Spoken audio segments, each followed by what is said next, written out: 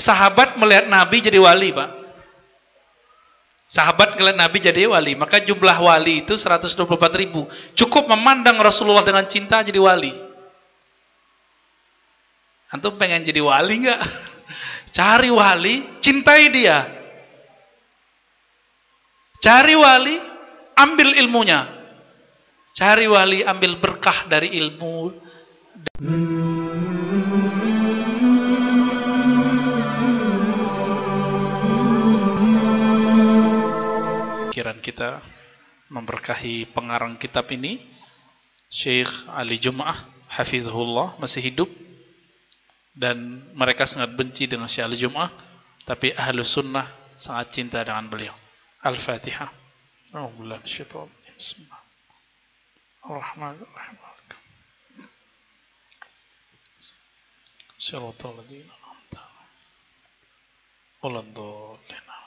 Insya Allah kalau bisa dua bah, dua pembahasan. Ya. Pertama yang ketujuh keharaman sholat di masjid yang mempunyai di sisi samping kiri depan belakang ya sekitarnya kuburan. Ini pembahasannya agak agak rame di sini ya. Dan yang kedua yang lebih seru tabarruk ngambil berkah. Karena banyak salah faham, dikira kita kalau ngambil berkah itu menyembah. Kita ngambil berkah ke kubur, dikira kita nyembah kubur itu salah faham. Ya. Jadi mereka dengan kesalahfahaman itu mencoba menuduh umat Islam yang ahlu sunnah. Ya. Ini agak menyedihkan.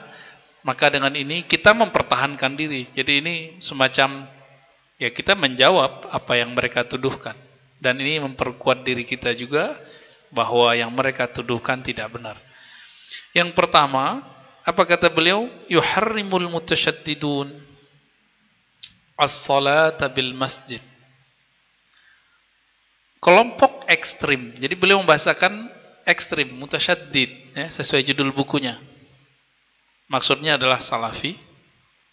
As-salata bil masjidil ladzi ulhiqa bihi darihu rajulin salih.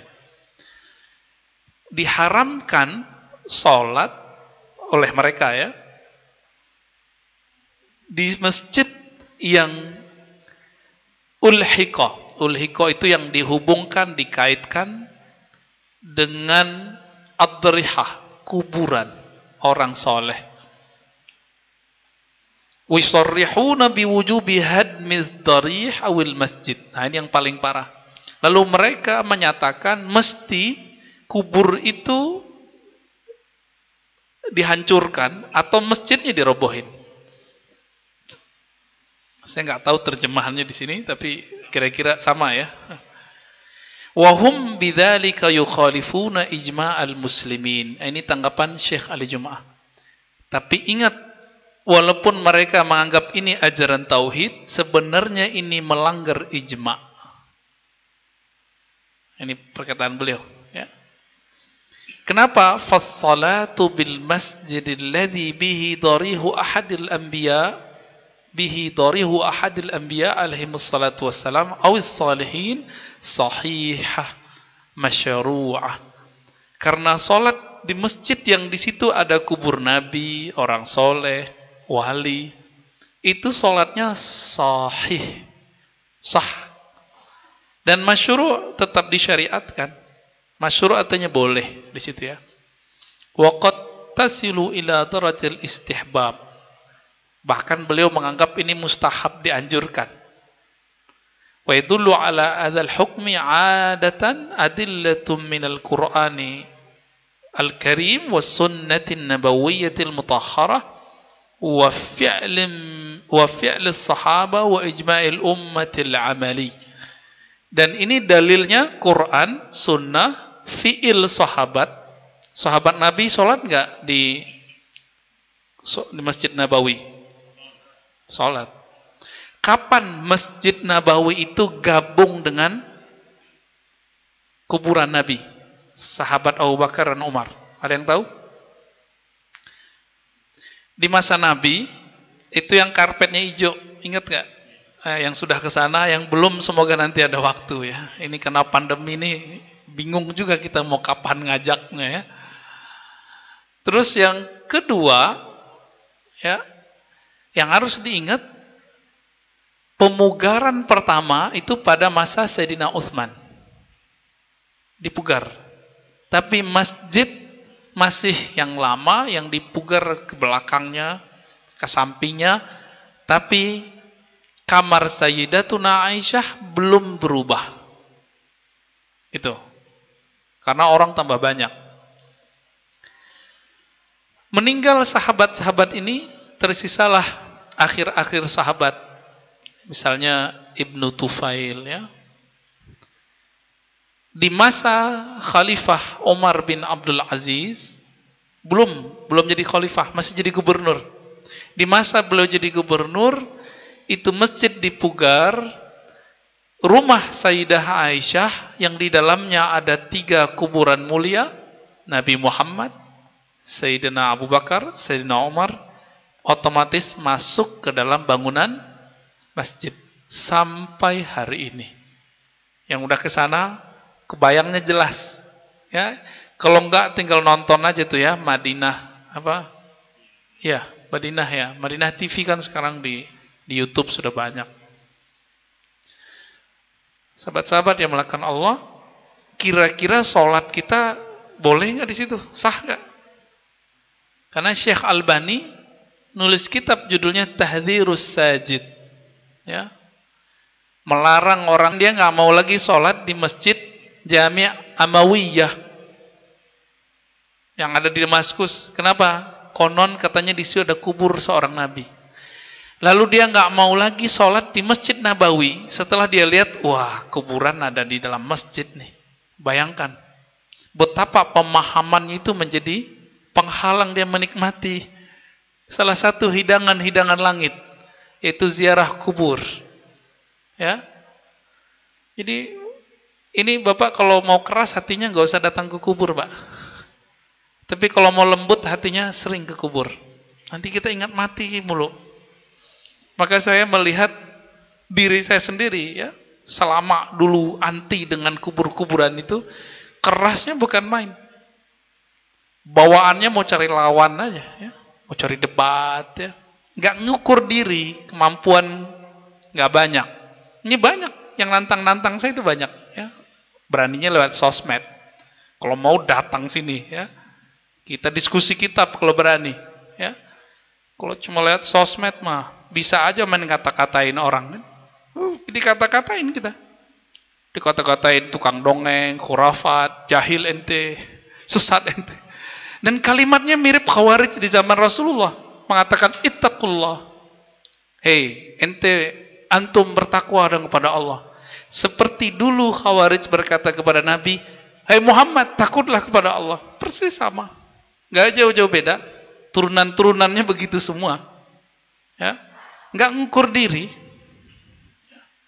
Seberapa takwa sih ya orang ini dibandingkan Nabi Sallallahu Alaihi Wasallam.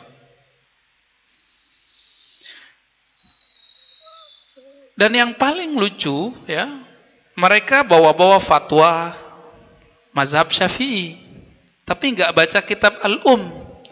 Di kitab Al-Um, ya, Nabi itu melarang, ada hadis sesama, melarang membangun bangunan di atas kubur buat pusara apa.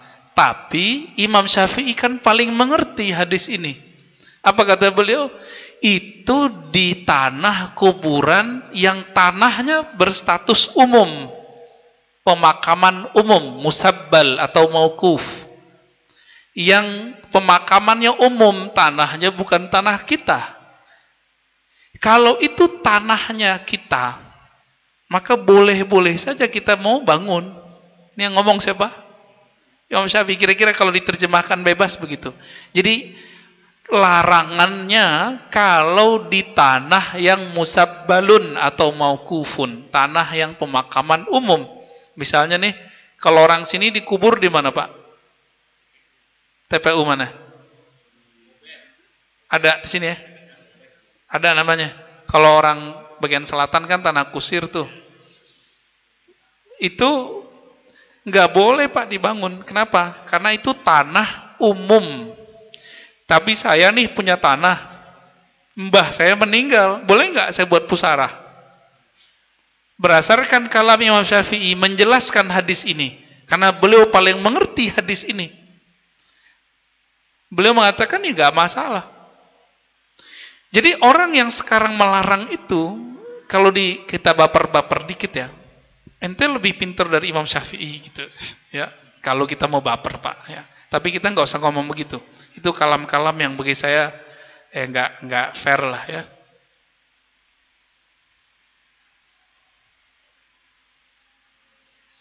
Apa dalil mereka dalam melarang sholat di masjid yang ada kuburan? Apa dalilnya?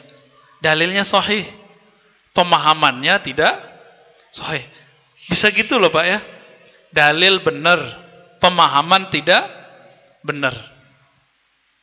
Coba hadisnya sahih Bukhari, sahih Muslim. Ya. Nabi Shallallahu Alaihi Wasallam bersabda, "La'anallahu al-Yahuda wan Nasara, ittakhazu kubur anbiya'ihim masajidah." Selalu begitu hadisnya. Allah melaknat Yahudi Nasrani yang menjadikan kubur para nabi sebagai masjid. Pernah datang ke Hebron, Masjidil Aqsa, kemudian kita pergi dari situ ke Hebron, ke tempat kuburan Nabiullah Ibrahim. Habis itu pergi ke kuil Nabi Daud, jadi mereka jadiin itu kayak tempat ibadah emang. Sentralnya itu kuburnya. Jadi kubur di tengah begitu, terus mereka baca baca kitab suci Taurat. Dan mirip-mirip kayak orang Islam, Pak. Laki perempuan dipisah. Perempuannya dipisah. Jadi orang ortodok Yahudi itu ketat juga masalah pemisahan laki-laki dan perempuan. Ya persis kayak mereka juga sekarang, cuma bedanya Yahudi menjadikan kubur sebagai tempat ibadah. Ini yang dilaknat. Kalau biasanya kiai-kiai dulu, syekh-syekh, tuan guru, itu punya punya majelis, dibikin orang masjid, terus dia meninggal, dikuburin dekat masjid, begitu kan? Persis seperti Nabi. Ini kan niru Nabi semua. Nabi datang ke Madinah buat masjid, Benar. Meninggal dikubur di samping masjid sama. Maka yang dilakukan oleh tuan-tuan guru kita, kiai-kiai kita, Pak Aji, Pak Aji dulu, mualim-mualim kita yang lama, sama persis, nggak jauh beda. Sama ya? Maka sunnah itu yang ditinggal orang hari ini, Pak. Dan ini dihidupkan oleh ulama-ulama pesantren. Di Pulau Jawa khususnya, Kalimantan saya lihat banyak. Kalau dulu di kampung saya itu ada surau suluk. Nah, tuan gurunya dikuburkan di samping atau agak agak ke depan deh, depannya mihrab. Jadi masih ada pembatas. Tempat orang khalwat 40 hari. Ya. Saya pernah berziarah ke ada namanya Syekh Muhammad Ilyasin Al-Naqsyabandi. Kemudian Syekh Muhammad Tahir, Syekh Muhammad Jamil. Itu di depan ada mihrab seperti ini, di depannya. Agak ke sana. Karena arah kiblat agak ke sana ya. Beda dengan Turki. Yang sudah ke Turki, pernah ke Masjid Ayubiyah? Pernah. Ya semoga ke sana antum ya. Walaupun sehari, sehari dua hari, tiga hari cukup. Itu sahabat Nabi Abu Ayyub Al-Ansari, pewakaf Masjid Madinah. Meninggalnya bukan di Madinah loh Pak. Hijrah dia ke ke Istanbul. Nah, beliau radhiyallahu taala anhu berkubur di satu tempat yang tempat itu ditemukan oleh gurunya Muhammad Al-Fatih yang juga seorang mursyid tarekah. Muhammad Al-Fatih itu murid tarekat, Pak. Sekarang orang bawa-bawa khilafah nggak mau bertorikot. Akhirnya pergerakannya kering dari dari nuansa spiritual maka gesekan-gesekan yang terjadi susah diredam. Bapak coba aja cek, di, tidak ada orang berkumpul kecuali ada setan yang merasuk ke tubuh seseorang lalu menjadi penghasut. Di mana aja. Di mana aja, mau di masjid, mau di RW RT, sampai pergerakan-pergerakan keislaman, semuanya masuk mereka. Itu kalau mata kita tajam dikit kita bisa lihat, Pak. ya. Dulu ada 212, benar. Bagus kan pergerakannya? Ada penyusup nggak? Ada, Pak, banyak penyusupnya. Itu yang merusak dari dalam sampai sekarang efeknya. Seharusnya tidak sampai pergerakan itu membenci sesama muslim, akhirnya membenci. Kebencian itu ajaran Nabi atau ajaran Islam? Ya kan? Itu itu mereka karena darah ini penuh oleh syaitan masuk, Pak. Masuk semua. Nah, ini bakal kejadian lagi nih 2024 ya. Kejadian lagi. Kita ingetin aja biar nggak biar kita aware ya. Biar teman-teman kita yang kemarin merasa dirinya sudah berjuang nggak kecewa kedua kali, ketiga kalinya. Kemasukan setan lagi. Ya, kesurupan sih nggak kemasukan ya. Ini bahayanya Pak. Kenapa? Karena setan itu bisa jin, bisa orang kesurupan mah bisa didetek nih, kesurupan selesai. Tapi kalau orang kemasukan setan, susah Pak. Susah mendeteknya itu susah. Karena setan itu pasti ngomongnya bagus. Kata setan, Inilah kumala minan nasihin. Aku betul-betul tulus menasihatimu. Bahasanya. Ya.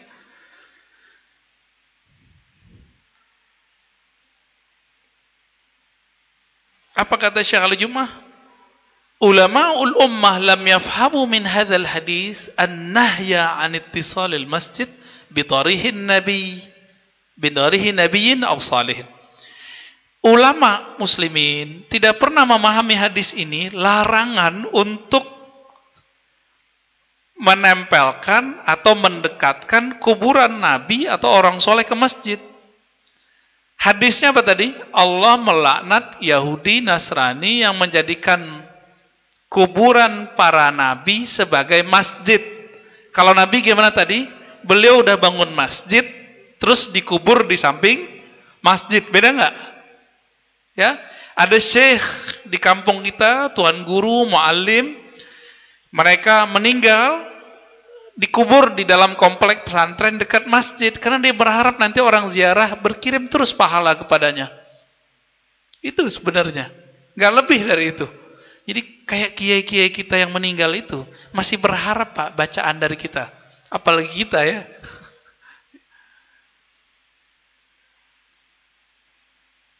Nah, kalau di riwayat Imam Muslim ada tambahan wasalihihim, kuburan orang-orang soleh ya.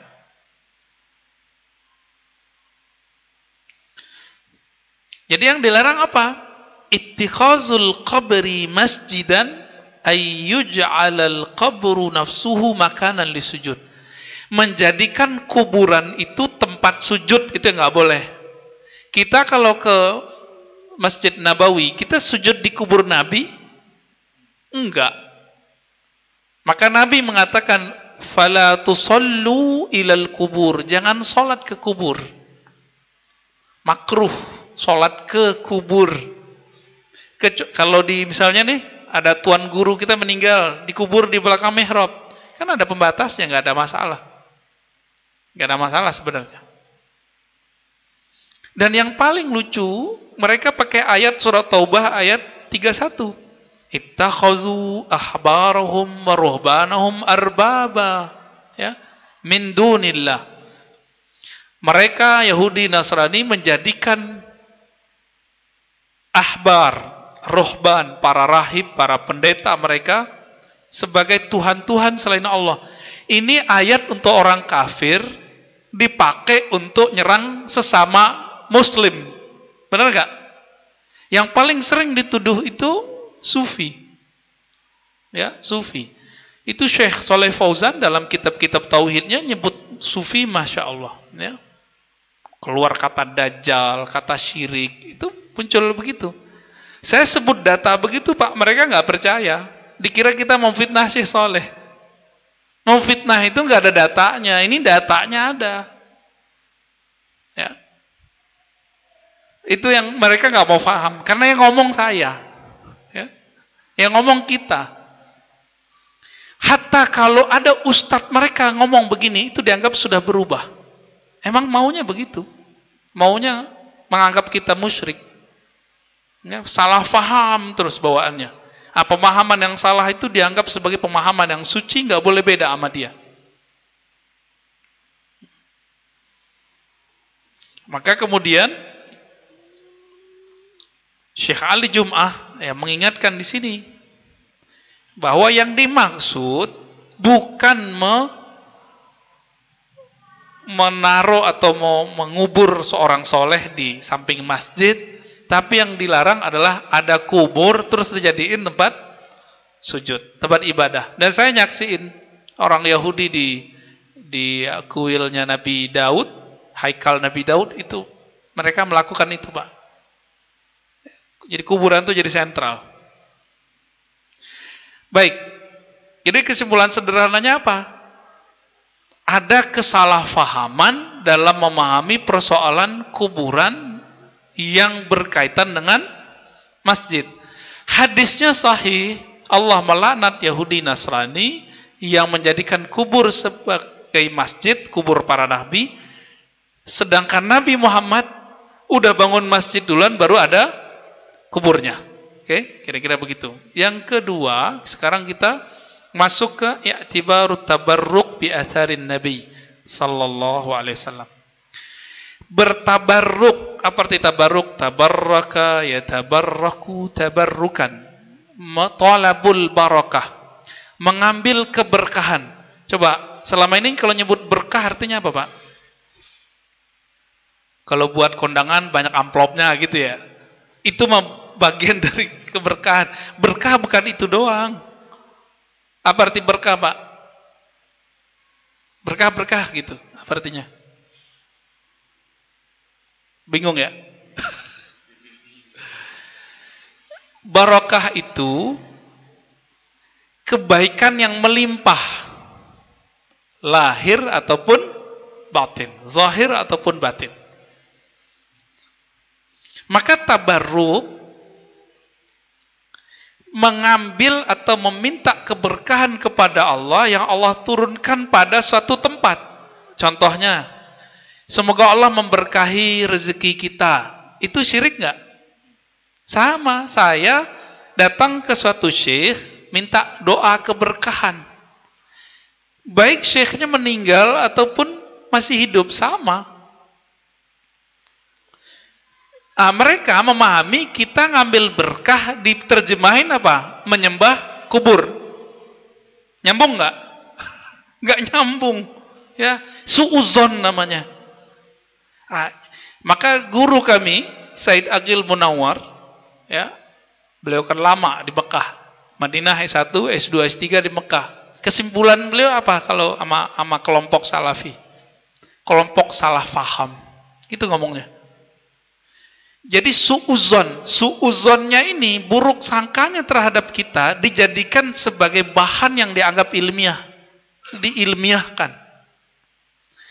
Kita ngambil berkah dikira nyembah kubur, ngambil berkah kubur dikira nyembah kubur. Ini kita ulang-ulang nih supaya antum paham. Mereka mengira kita datang ke kubur ngalap berkah menyembah kubur. Saya mau tanya yang suka ziarah, nyembah kubur enggak? Enggak kan? Nih, ahli kuburyun nih. Bagi mereka kita disebut obadul kubur karena kalam itu pernah disampaikan Ibnu Taimiyah dan mereka ulang sampai hari ini. Penyembah kubur. Obadul kubur ini diulang oleh syekhnya. Ya, saya nggak usah sebut lah ya, merusak mood kita nanti kalau kita sebut nama dia ya. Eh, cukup imamnya aja, yang imamnya juga sudah tobat dari mentakfir-takfir orang. Ketika sebelum wafat kan dia tidak tidak mengatakan itu lagi dan bersyahadat, bersaksi tidak mengkafirkan orang Islam. Ibnu Taimiyah. Apa kata Syekh Ali Jum'ah? Min qadayal mutasyaddidin.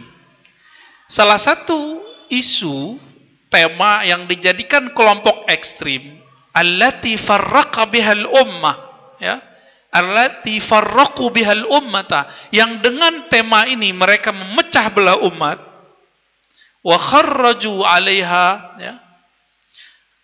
Uddahum litabarruk bi atharin Nabi sallallahu alaihi wasallam wassalihin minasyirik dengan mengatakan bahwa bertabaruk kepada peninggalan-peninggalan Nabi juga peninggalan orang-orang soleh minasyirk bagian dari syirik. Benar nggak? benar. Syekh Salih Fauzan nulis begitu. Di kitab Tauhid yang diajarkan di pesantren sekarang pesantren modern hari ini. Kita ngomong gitu Pak, dituduh kita takut. Punya pesantren gak laku. Ya saya kan gak punya pesantren, itu punya pesantren kiai saya. Gak ada urusan. Dulu pesantren kita juga pakai akidah yang yang kita nggak tahu junturungannya ke mana, kita rubah dan bisa berubah. Dulu di pesantren saya pakai syarah Tohawiyah Ibnu Abil Iz, murid Ibnu Qayyim yang juga mengkufurkan bab-bab ini. Udah kita ganti, Pak. Udah kita ganti. Ma'had Darus Sunnah udah kita ganti. Semuanya akidah ahli hadis. Imam Baihaqi, Imam Ibnu Asakir, Imam Sanusi, ya. Imam Mula Ali Al-Qari, ahli hadis semua.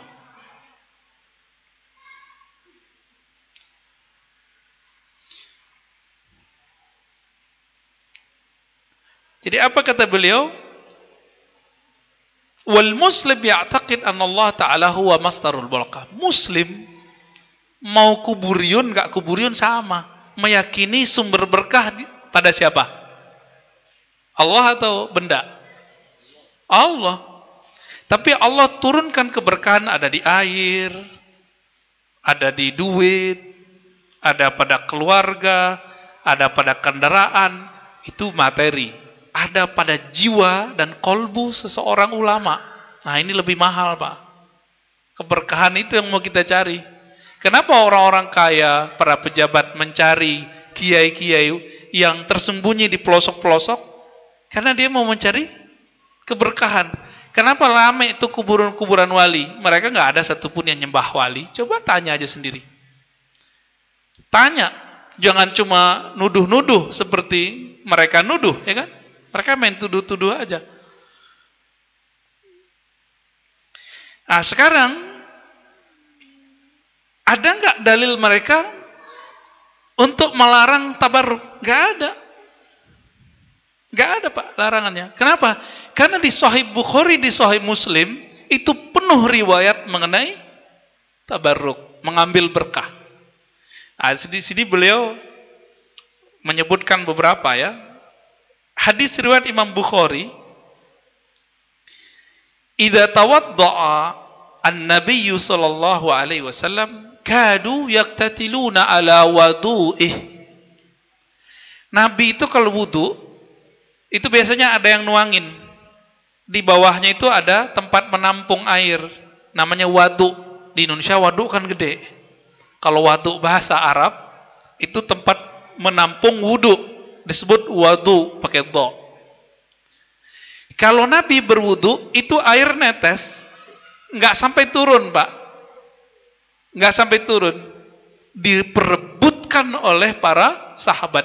Fakadu hampir saja mereka yaktatilun. Mereka kayak hampir terbunuh. Ini bahasa mubalaghah namanya, bahasa lebay. Nggak bakal. Mirip-mirip kayak kita mau mencium hajar aswad, kebayang? Kebayang ya? Gimana? Nyium hajar aswad, laki perempuan udah nggak mikir syahwat lagi. Yang kebayang sama dia apa? Ada batu dari surga, itu nyerepet. Dan kita kadang kalah sama mbak-mbak ya. Udah tenang-tenang disikut-sikut. Kelempar juga pak kita. Tapi alhamdulillah saya nggak pernah kelempar pak. Kalau udah ngelihat sekali baca la haula tiba-tiba nyampe. Percaya nggak percaya ya? Ini hadis Sahih Bukhari. Sahabat Nabi musyrik nggak? Sahabat Nabi meyakini air bekas wudhu Nabi itu berkah. Nabi larang nggak? Nabi larang nggak pada hadisnya? Nggak ada satu hadis yang melarang. Coba saya tunjukin satu hadis saja yang melarang sahabat ngambil berkah. Nggak ada.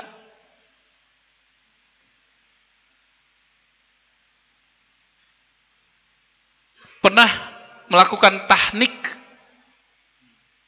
Anak baru lahir, kita datang ke muallim, tuan guru, kiai, syekh, kita bilang, tolong Pak Kiai tahnik. Ya, digigit kurma kita masukin.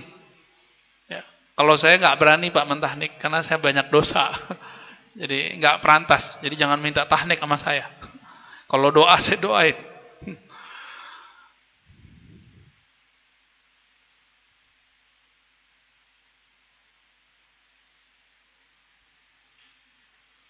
Ah, kata sahabat Nabi ini ya. Anil Miswar ya. Anil Miswar bin Makhrama ba'da ruju' Urwa bin Mas'ud ila Quraisy. Faraja Urwa ila ashabi faqala ay qaumin wallahi laqad wafattu ala al-muluq wafattu ala Qaisar wa Kisra wa Najasi wallahi ma raitu malikan qad yu'azzimuhu ashabuhu ma yu'azzibu Muhammad ashabu Muhammadin sallallahu alaihi wasallam Muhammadan sallallahu alaihi wasallam. Saya kata dia sering datang di diutus untuk pergi ke raja-raja. Jadi dia diplomat nih ceritanya. Tidaklah aku datang ke seorang raja, kaisar, ya, gubernur.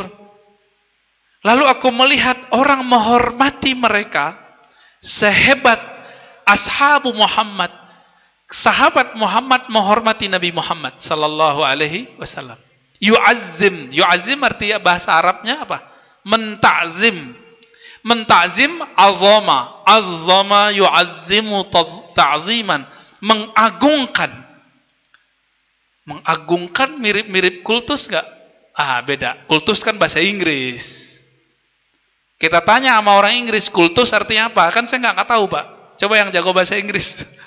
ya, cult ya. Apa artinya? Mirip dengan yu'azim.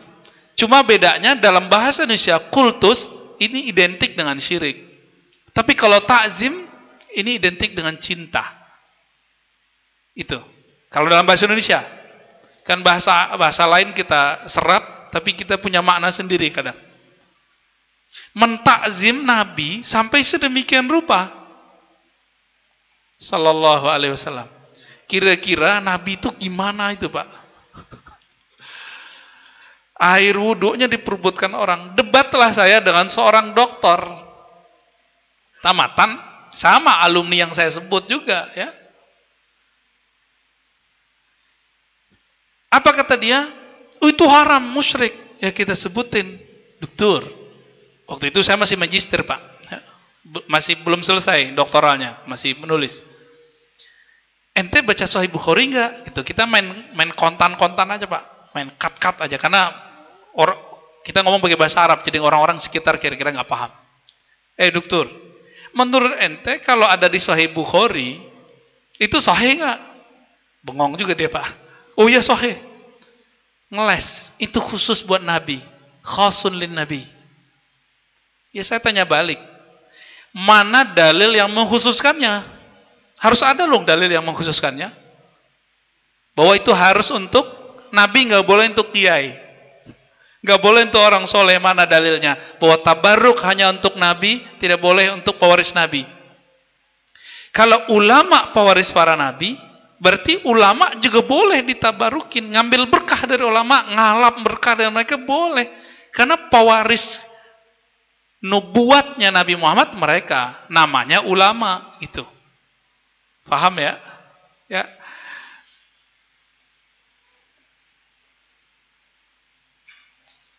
Ini disebutkan dalam Sahih Bukhari perkataan dari ya, Miswar bin Makhrama mengenai kembalinya Urwah. Jadi Urwah ini cerita, Urwah bin Mas'ud.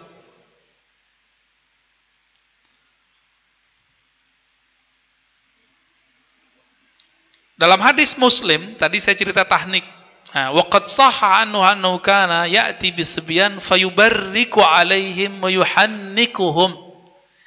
Nabi SAW datang ke anak-anak Sibyan, jamak dari sobi, anak-anak. Jadi Nabi ini suka main sama anak-anak, Pak. Jadi ini yang udah jadi kiai, jadi ustadz, jangan belagu, suka main sama anak-anak, kayak gelut-gelut kalau bisa. Fayubarriku alaihim. Lalu Nabi memberikan keberkahan bagi mereka. Yubarrik baraka yubarriku taberikan. Kalau tadi tabarruk ngambil berkah, yubarik ngasih berkah. Jadi berkah dikasih sama Nabi. Musyrik gak Rasulullah? Hah? Gimana? Rasulullah musyrik gak? Sahabat musyrik gak? Katanya berkah hanya dari Allah. Berarti yang salah siapa? Yang gak baca Sahih Bukhari, Sahih Muslim. Saya ngomong ini kenceng gak Pak? Ya maaf ya kalau kenceng ya. Ya kurang kenceng malah. Waduh maaf Pak, saya nggak bisa lebih kenceng dari itu.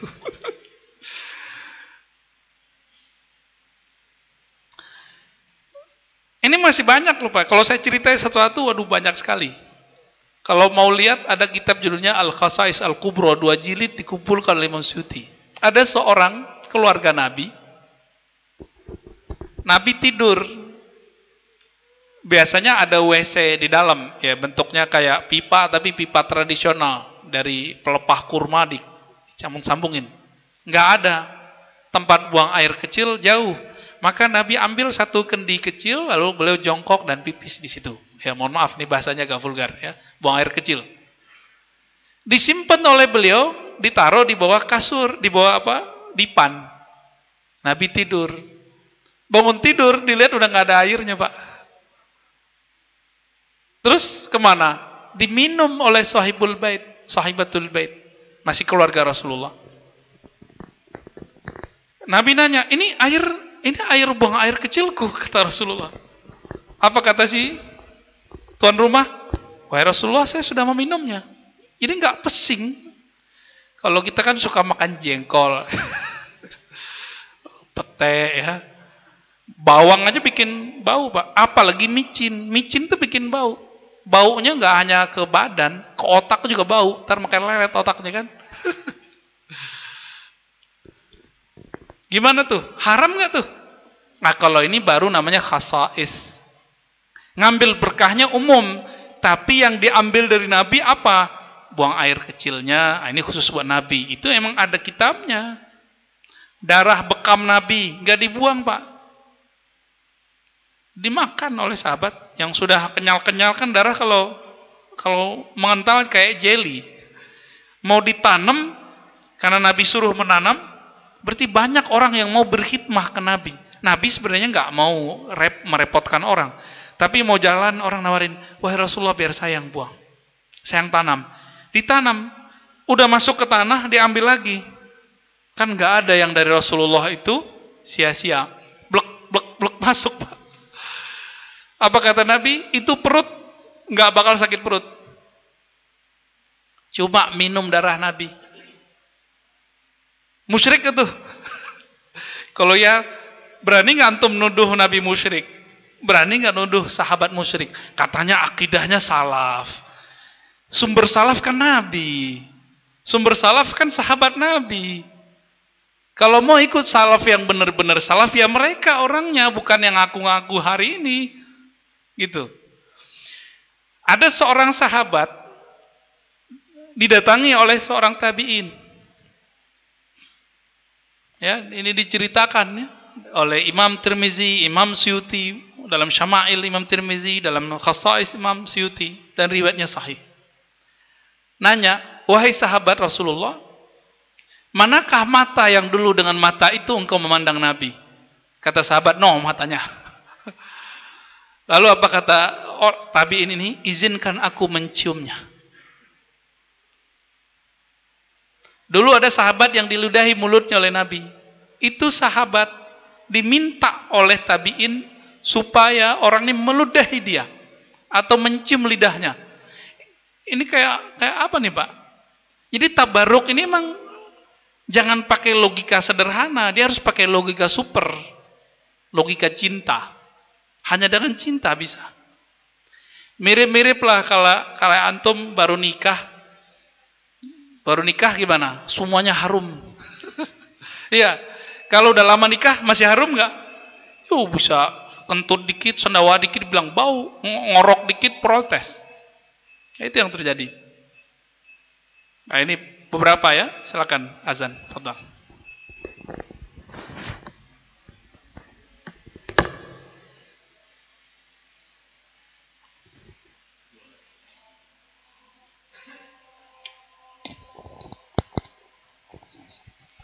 الله الله الله أكبر الله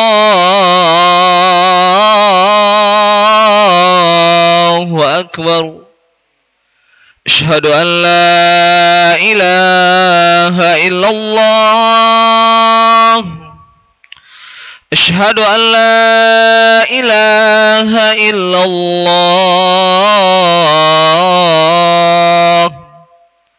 أشهد أن محمد رسول الله.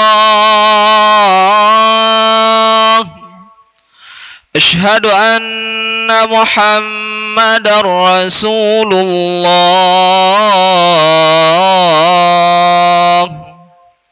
حي على الصلاة. حي على الصلاة.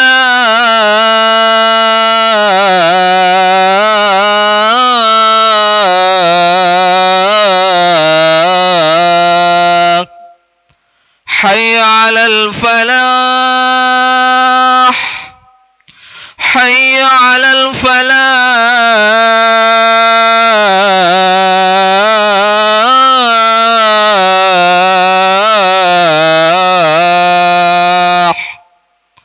الله أكبر الله أكبر.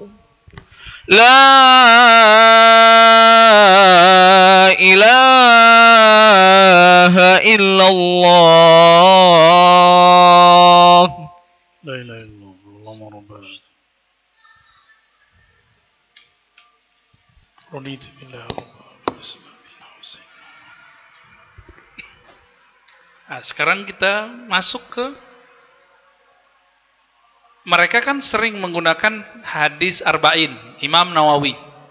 Riyadhus Shalihin Imam Nawawi. Ini kalau benar ikut Nawawi nih. Imam Nawawi ini bukan Nawawi Al-Bantani loh Pak ya. An-Nawawi Ad-Dimashqi. Ad-Dimashqi. Di sini ada kajian arba'in. Ada ya? Nah, itu orangnya ini. Beliau punya kitab judulnya Syarah Sahih Muslim. Di Syarah Sahih Muslim Imam Nawawi mengatakan setelah menyebutkan al-istishfa bi jubbati Rasulillah. Jadi sahabat Nabi, orang-orang setelah Nabi berobat, ngambil keberkahan berobat dengan jubah Rasulullah sallallahu alaihi wasallam. Lalu apa kata beliau? Wa fi hadzal hadis dalilun ala istihbab tabarruk bi atharis salihin wa thiyabihim. Berdasarkan dalil ini dianjurkan bertabarruk mengambil berkah. Itu terjemahnya gitu. Bukan menyembah, mengambil berkah dari asar salihin, peninggalan-peninggalan orang soleh dan pakaian mereka. Imam Nawawi yang ngomong. Berarti Imam Nawawi musyrik kan nih? Jadi kita kasih tahu mereka, antum kalau mengkafirkan atau menganggap musyrik, nah ini malah anggap musyrik, bertabaruk, maka engkau telah memusyrikkan Rasulullah, engkau telah memusyrikkan sahabat Rasulullah, para tabi'in dan imam-imam ahlus sunnah. Khususnya Imam Nawawi. Tuh, baru kenceng Pak. Mau dengar yang begitu dia dari tadi tuh.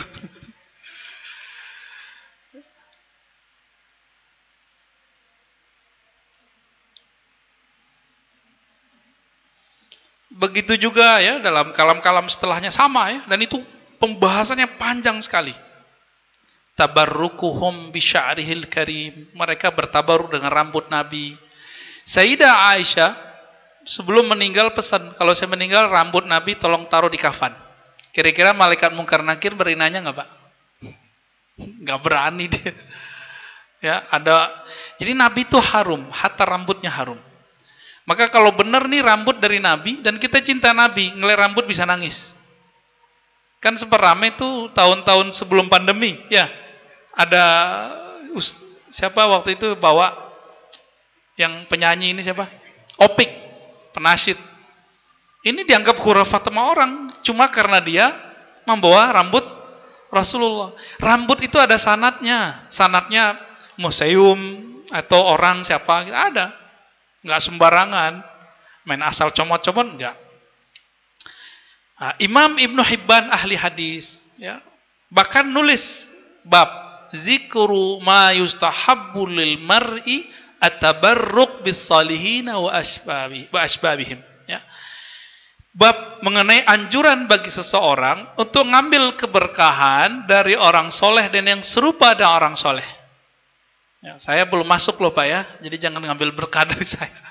belum masuk. Itban bin Malik pernah ngundang Nabi untuk makan. Lalu Nabi nanya, kamu ingin aku sholat di mana? Jadi ternyata dia lagi membuat musola di rumah. Ini anjuran Pak, coba hidupkan sunnah ini. Ini gara-gara pandemi ini orang nggak mau ngamalin ini. Lalu ditunjuk kepada itu wahai Rasulullah. Maka Nabi sholat di situ diikuti oleh sahabat-sahabat. Ini Itban bin Malik ingin bertabaruk dengan tempat yang dulu dipakai oleh Rasulullah sholat. Itulah kelebihan Raudhah. Itu kelebihan pesantren. Itu kelebihan masjid yang ada kiai walinya. Kenapa? Karena tempat itu pernah dijejaki oleh orang soleh.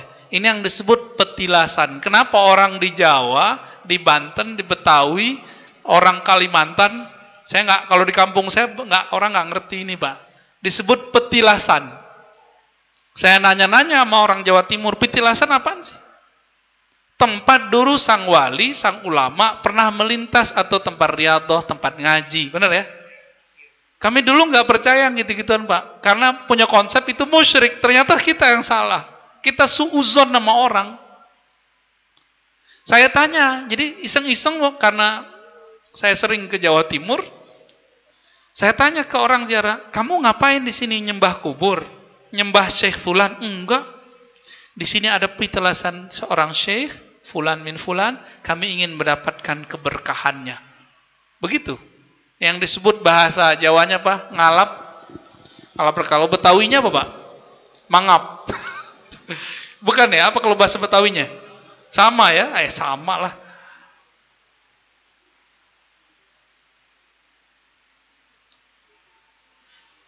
Sabit Al-Bunani ketemu Anas bin Malik. Ini bagian-bagian akhir. Akhadha yadahu faqabbalaha. Lalu mengambil tangannya dan menciumnya. Mencium tangan Anas bin Malik. Wa yaqulu yadun massat yada Rasulillah sallallahu alaihi wasallam. Tangan ini telah menyentuh tangan mulia Rasulullah sallallahu alaihi wasallam. Maka dicium lama-lama itu tangan. Siapa yang mencium? Sabit Al-Bunani. Kalau ahli hadis ngerti Pak, siapa Sabit Al-Bunani? Kalau kita taunya Hasan Al-Basri doang ya. Hasan Al-Basri, siapa lagi? Itu ah, nama yang punya kosan di tempat kita tuh Hasan Al-Basri. Guru saya namanya Hasan Al-Basri juga. Ini dia punya sahabat, nama teman-teman jauhnya namanya Sabit Al-Bunani. Sabit Al-Bunani ini ketemu Sayyidina Anas dan mencium tangannya dan mengatakan, tangan ini pernah menyentuh memegang tangan Rasulullah sallallahu alaihi wasallam. Enggak usah enggak usah jauh-jauh.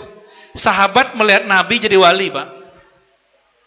Sahabat melihat Nabi jadi wali, maka jumlah wali itu 124 ribu. Cukup memandang Rasulullah dengan cinta jadi wali. Antum pengen jadi wali enggak? Cari wali, cintai dia. Cari wali, ambil ilmunya. Cari wali, ambil berkah dari ilmu, dari ya apalah semua, senangkan hatinya. Menyenangkan hati kan macam-macam caranya. Tergantung apa yang membuat dia senang.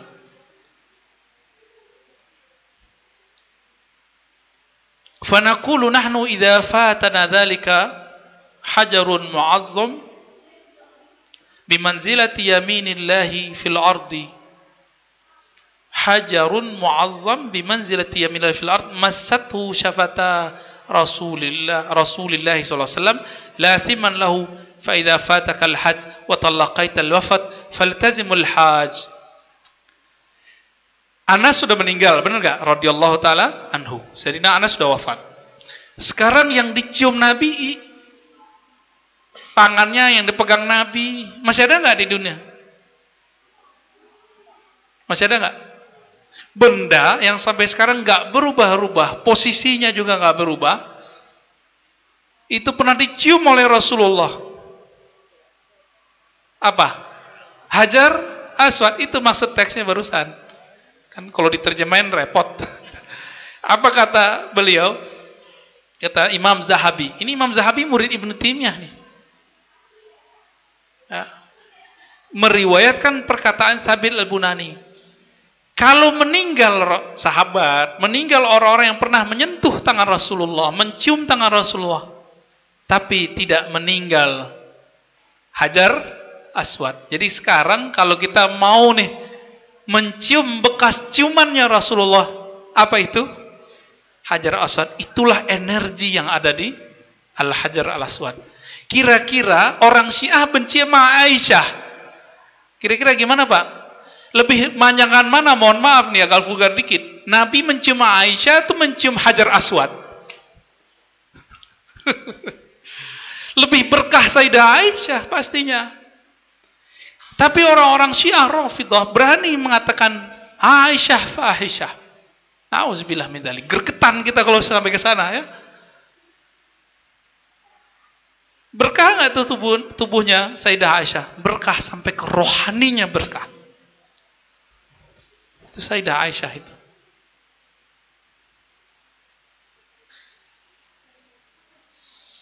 Katanya akidah salaf. Benar nggak akidah salaf melarang mencium kubur Nabi?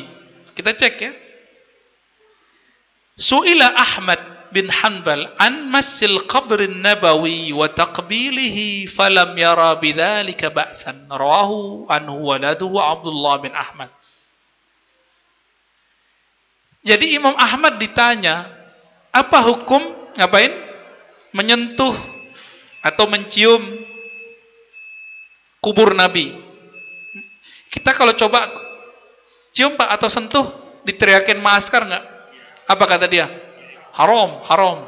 Kalau mau husnuzon, mungkin biar rapi, disiplin. Tapi kan nggak boleh ngangkat suara di dekat Rasulullah. Ya, surah Al-Hujurat ya. La tarfa'u aswatakum faqaw sautin nabi. Jangan angkat suaramu di atas suara nabi. Masalahnya mereka meyakini nabi itu udah mati, itu masalahnya. Jadi mereka ngangkat suara di situ, nggak ada adabnya. Maka askar-askar yang begitu, kita kasihan. Dia diperintah, tapi nggak punya adab. Padahal orang akan lebih respect kepada orang yang punya adab. Misalnya, biar rapi, ya kasih senyum aja gitu. Maka dulu Syekh Wali Asy'arawi pernah mengkisahkan mengenai dia dibentak oleh askar karena mencium kubur Nabi, belum dipugar kayak sekarang, Pak. Akhirnya apa? Diambil tuh askar, dicium keningnya. Orang Arab kan biasa cium kening cowok dengan cowok, bukan hombreng loh, Pak ya. Kasihan.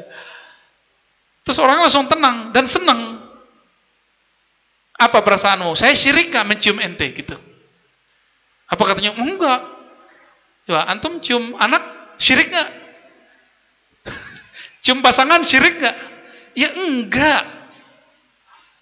Mencium kubur Nabi syirik gak? Ya sama.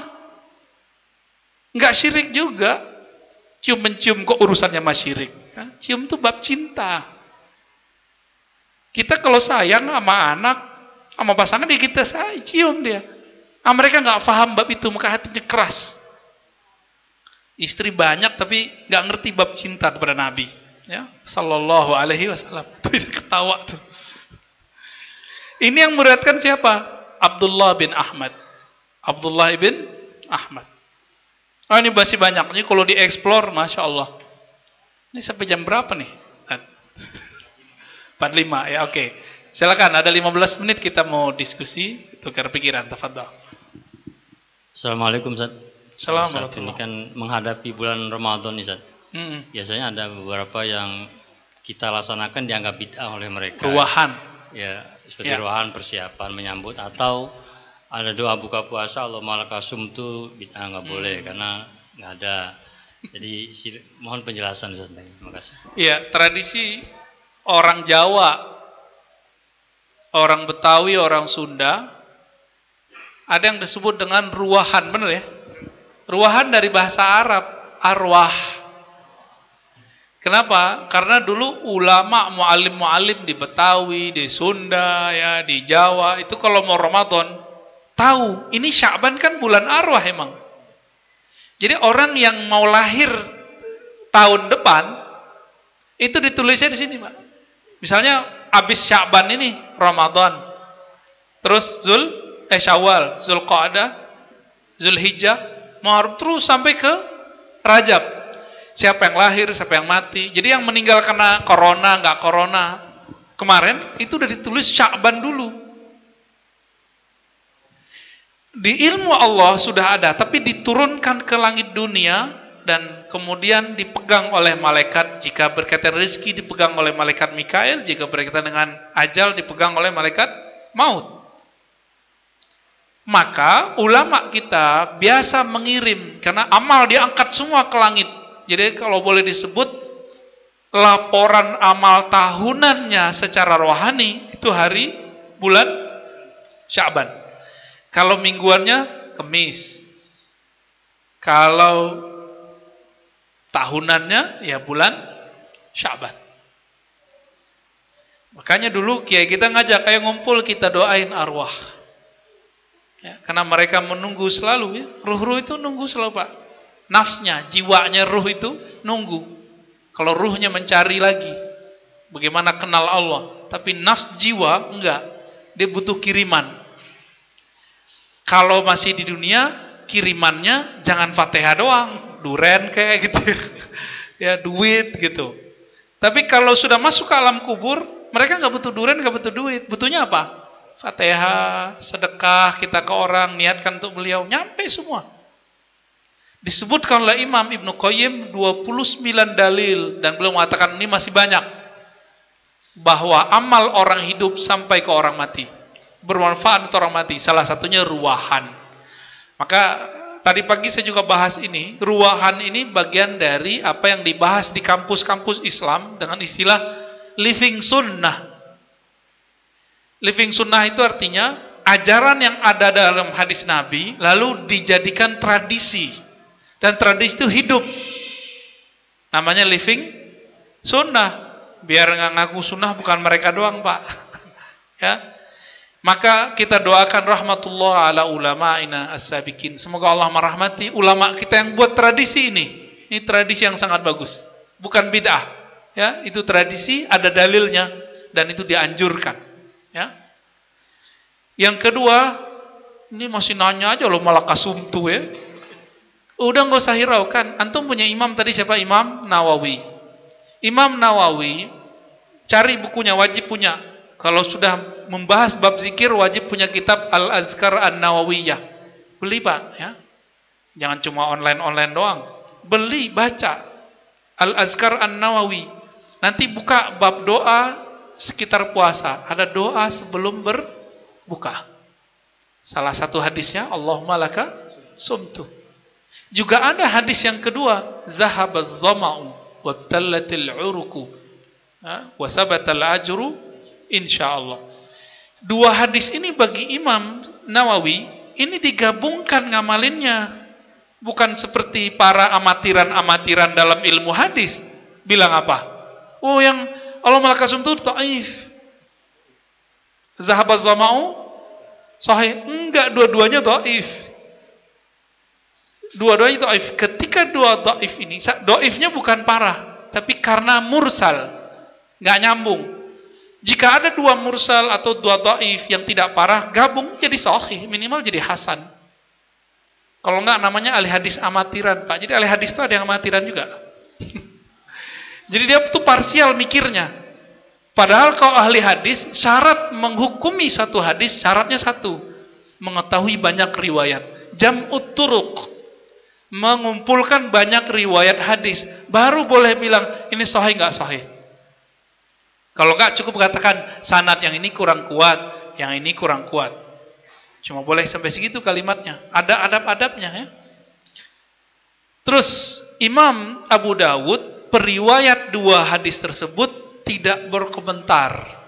Abu Dawud ini teman Imam Bukhari Pak Ngaji. Umurnya ya beda beda 8 tahun lah. antara Imam Bukhari dengan Imam Abu Daud, pengarang kitab Sunan Abi Daud. Kan ribet antum kalau baca Abu Daud. Bisa empat jilid terjemahannya. Ah, Imam Abu Dawud mengatakan, "Wa sakattu anhu fahuwa saleh." Hadis yang aku tidak komentari, maka kualitasnya saleh. Saleh itu bagus. Bagus, relevan untuk diamalkan. Oke, sekarang coba diadu. Syekh Albani bukan salaf, dia cuma mengaku salafi. Imam Abu Daud salaf. Kalau beda imam sekarang dengan imam salaf yang asli, antum ikut yang mana? Abu Daud, serius? Udah selesai masalah. ya, gitu apa cara memahaminya lebih kurang wallahu alam. Apalagi? Assalamualaikum warahmatullahi wabarakatuh. Pongkol-pongkolnya yang nanya nih. Kita silakan minum dulu saya mau. Yang saya mau tanyakan ini Ustaz masalah rambut ya. Tadi itu kan karena baru-baru ini juga di Kalimantan itu ada salah satu Ustadz yang membawa Rambut Nabi. itu ya dia bilang ini rambut Nabi. Nah yang jadi pertanyaan itu apakah kan dalam 1400 tahun yang lalu juga itu rambut masih karena memang ini orang terpilih ya kita boleh percaya di situ. Tapi apakah ini asli atau tidak yang saya tanyakan itu kalau kita percaya apakah kita dapat pahala atau tidak ataukah bolehkah kita tidak mempercayainya itu bahwa ini mungkin palsu gitu Iya, iya. Nah, apakah kita berdosa atau tidak yang kedua tadi masalah berkah ambil keberkahan mencium makam Nabi ya. Apakah kita juga bisa mencium makam para wali atau tidak jauhnya ke makam orang tua kita sendiri gitu? Apakah kita boleh atau tidak? Terima kasih. Assalamualaikum warahmatullahi wabarakatuh. Assalamualaikum warahmatullahi wabarakatuh. Rambut Nabi ya. Rambut Nabi ini fenomenal. Imam Ahmad wafat 241. Nabi wafat tahun 11. 241 berapa tahun? 200-an tahun. Ya. Itu beliau masih nyimpen rambut Nabi dan ada sanatnya. Jadi sanat itu sumbernya rambut. Genealogi rambut itu ada, Pak. Ketika Wahabi menguasai Hijaz, Hijaz di situ ada Mekah, Madinah, maka Turki Utsmani mereka dapat ilham, inspirasi, teguran, selamatkan asar-asar Nabi. Asar artinya peninggalan Nabi. Dibawa semua ke ke Turki. Makanya sekarang kalau kita ke Turki ada museum Nabi, benar nggak? Museum keluarga Nabi ada rambut Nabi, jubah Nabi, serban Nabi, bahkan jubah Sayyidah Fatimah. Ada semua. Orang pencinta Nabi pasti melinang air matanya ngelihat. Museum itu boleh disebut sebagai periwayat rambutnya. Dia dapat di mana? Dapatnya dari dulu ada rumahnya Nabi. Kan dulu ada rumah Nabi di Mekah. Kan sekarang mereka bu- ratain dibangun perpus. Masih syukur Pak dibangunin perpus. Ya. Masih syukur. Ya, kalau enggak hancur itu ya. Saudi dilaknat kali. Kenapa? Karena me- menghina peninggalan Rasulullah. Syukurnya di Saudi itu masih banyak orang-orang yang diam-diam tidak mengikuti akidah Wahabiyah. Alhamdulillah. Pejabat-pejabat aja banyak yang nggak senang. Sekarang nih Muhammad bin Salman dia tahu boroknya Wahabi Pak, dia tahu. Dia mengatakan Wahabi itu perang dinginnya, saya pernah sampaikan sini ya. Perang dinginnya Amerika dan Rusia. Itu yang ngomong udah orang Saudi, nggak bakal percaya mereka. Mereka nggak percaya Pak. Jadi itu sahih itu udah. Makanya mereka ganti nama, nggak mau Wahabi lagi, Salafi aja. ya. Jadi rambut Nabi juga ada sanatnya. Sanatnya itu museum kah, rumah peninggalan apakah gitu ya. Ada sanatnya Pak. Ya? Ya itu biasanya peninggalan dari guru-guru. Tinggal dia bilang dapat dari mana. Boleh Bapak nanya.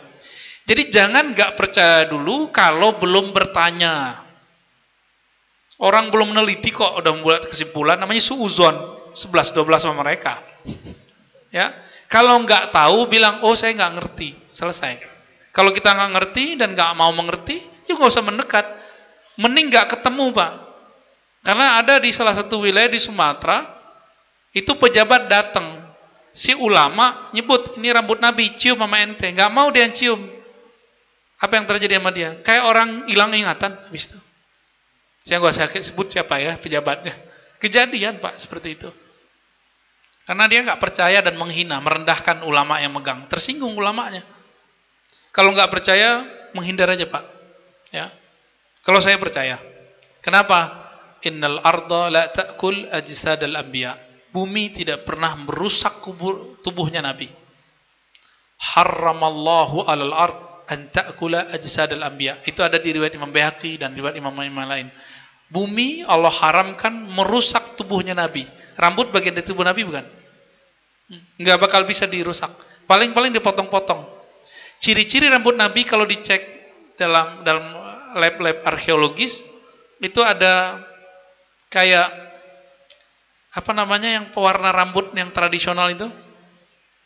Ya, henna dan minyak zaitun.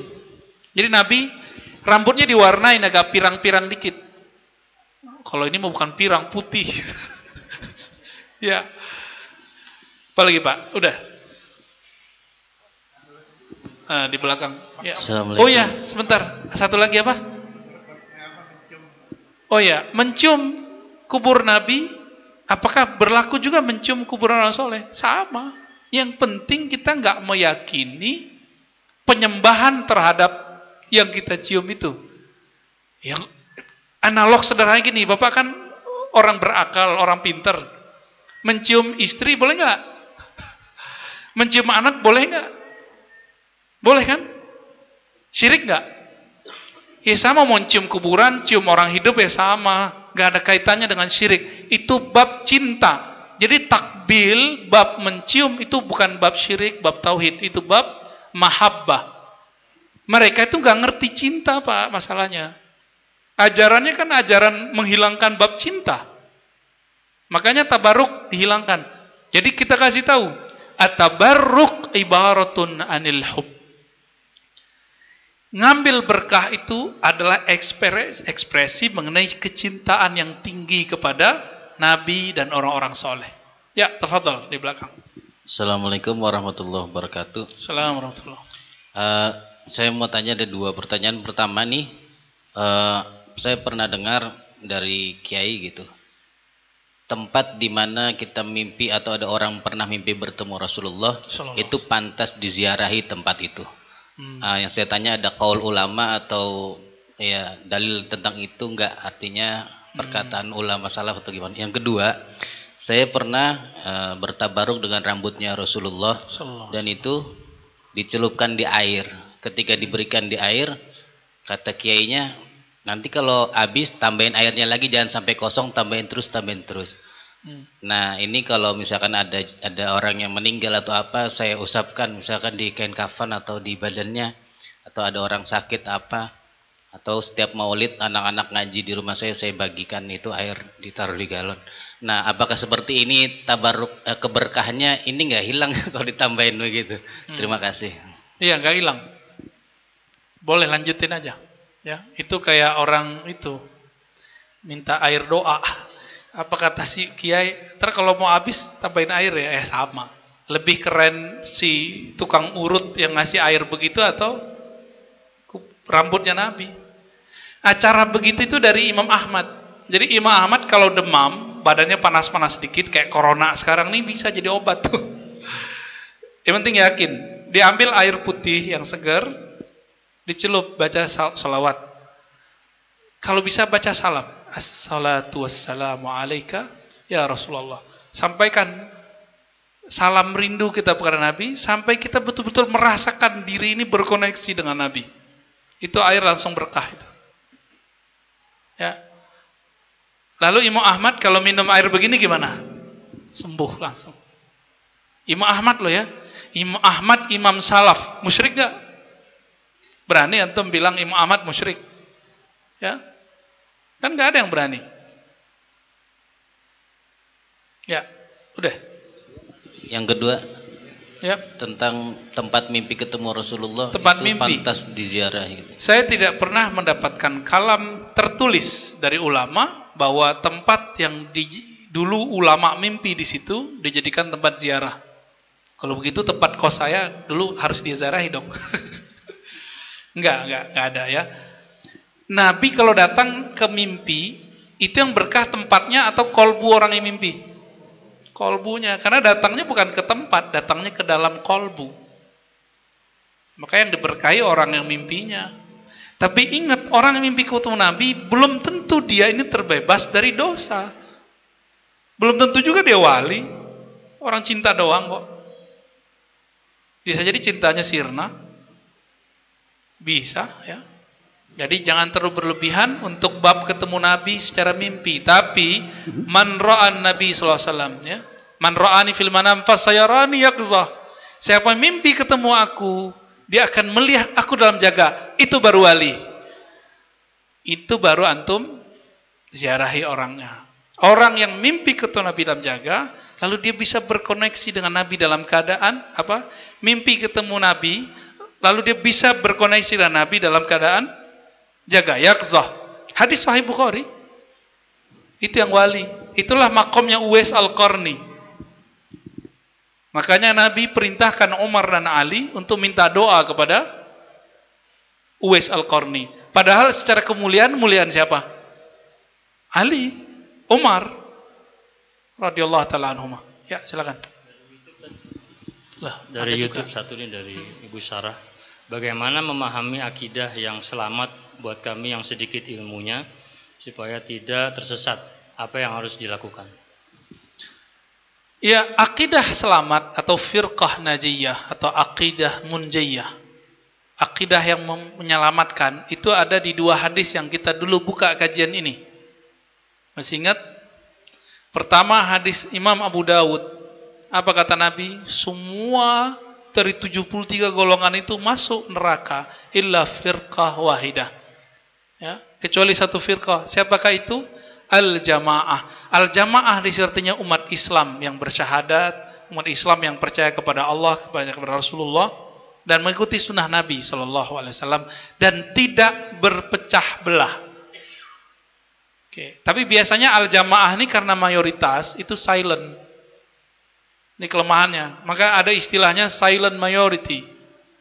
Orang rame banyak tapi nggak berisik. Yang berisik biasanya yang kecil kan? Yang dikit tuh berisik. Emang begitu Pak. Itu udah psikologis masa udah. Dan yang kedua, man ana alaihi ashabi. Siapa yang ikut aku dan ikut sahabatku. Kenapa Nabi menyebutkan ikut sahabatku? Ini yang disebut sanat. Jadi jika ingin membuktikan, menggaransikan akidahnya benar gak? Buktikan akidahnya bersanat atau tidak. Dan saya sudah meneliti, ya silakan dicari sudah ada PDF-nya bahwa akidah trilogi tauhid uluhiyah rububiyah wa sifat tidak berasal dari Rasulullah, tapi berasal dari Syekh Ibnu Taimiyah abad ke-8 Hijriah 728. Tapi dia mengklaim secara istiqra, apa istiqra? Induktif, dibaca dalil lalu dia simpulkan. Maka ini kesimpulan ijtihadnya Ibnu Taimiyah. Jika Ibnu Taimiyah boleh menyimpulkan tiga tauhid, kenapa Imam Asy'ari nggak boleh menyebut 20 sifat Allah? Kan itu bukan pembatasan sifat. Mereka aja nggak paham menuduh bahwa Asy'ariyah hanya mempercayai 7 atau 20 sifat. Lebih tua mana Imam Asy'ari yang wafat 324 dengan Ibnu Taimiyah 728? Ayo lebih tua mana? Lebih salaf mana? Imam Asy'ari. Beliau separuh hidupnya di zaman salaf. Dua per tiga hidupnya di zaman salaf. Masih ketemu ulama salaf ketika dia tobat menjadi ahli sunnah. Masih ragu. Ya, masih ragu. Ke laut aja. ya, udah 1949.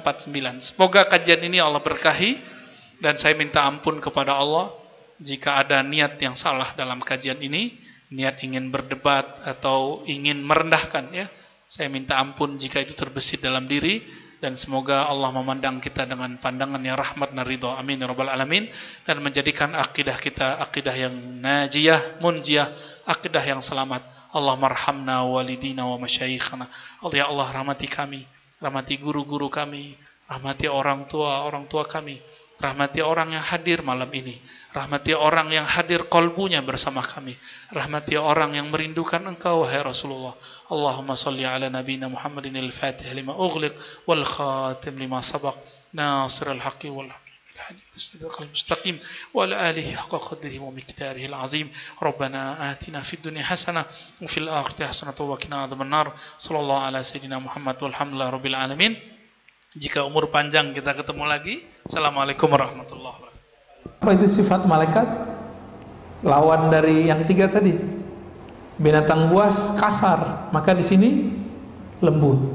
Binatang buas ambisinya besar, di sini tidak, ini zuhud. Binatang buas emosinya gede, di sini emosinya terkendali. Nah, ini yang lagi kita latih ya. Binatang ternak nafsunya besar, ah, di sini dilatih, dikontrol. Kalau setan suka sombong, ah di sini muncullah ketawaduan. Suka nipu orang, di sini bersikap jujur. Itu dia. Latihannya begitu. Orang yang melakukan ini, meskipun dia tidak masuk ke hutan-hutan, meskipun dia tidak eh, meninggalkan hidupnya dengan manusia, orang ini sudah disebut beruzlah. Uzlahnya yang khas lah. Uzlahnya para wali. Walaupun belum jadi wali nih, tapi sudah berlatih.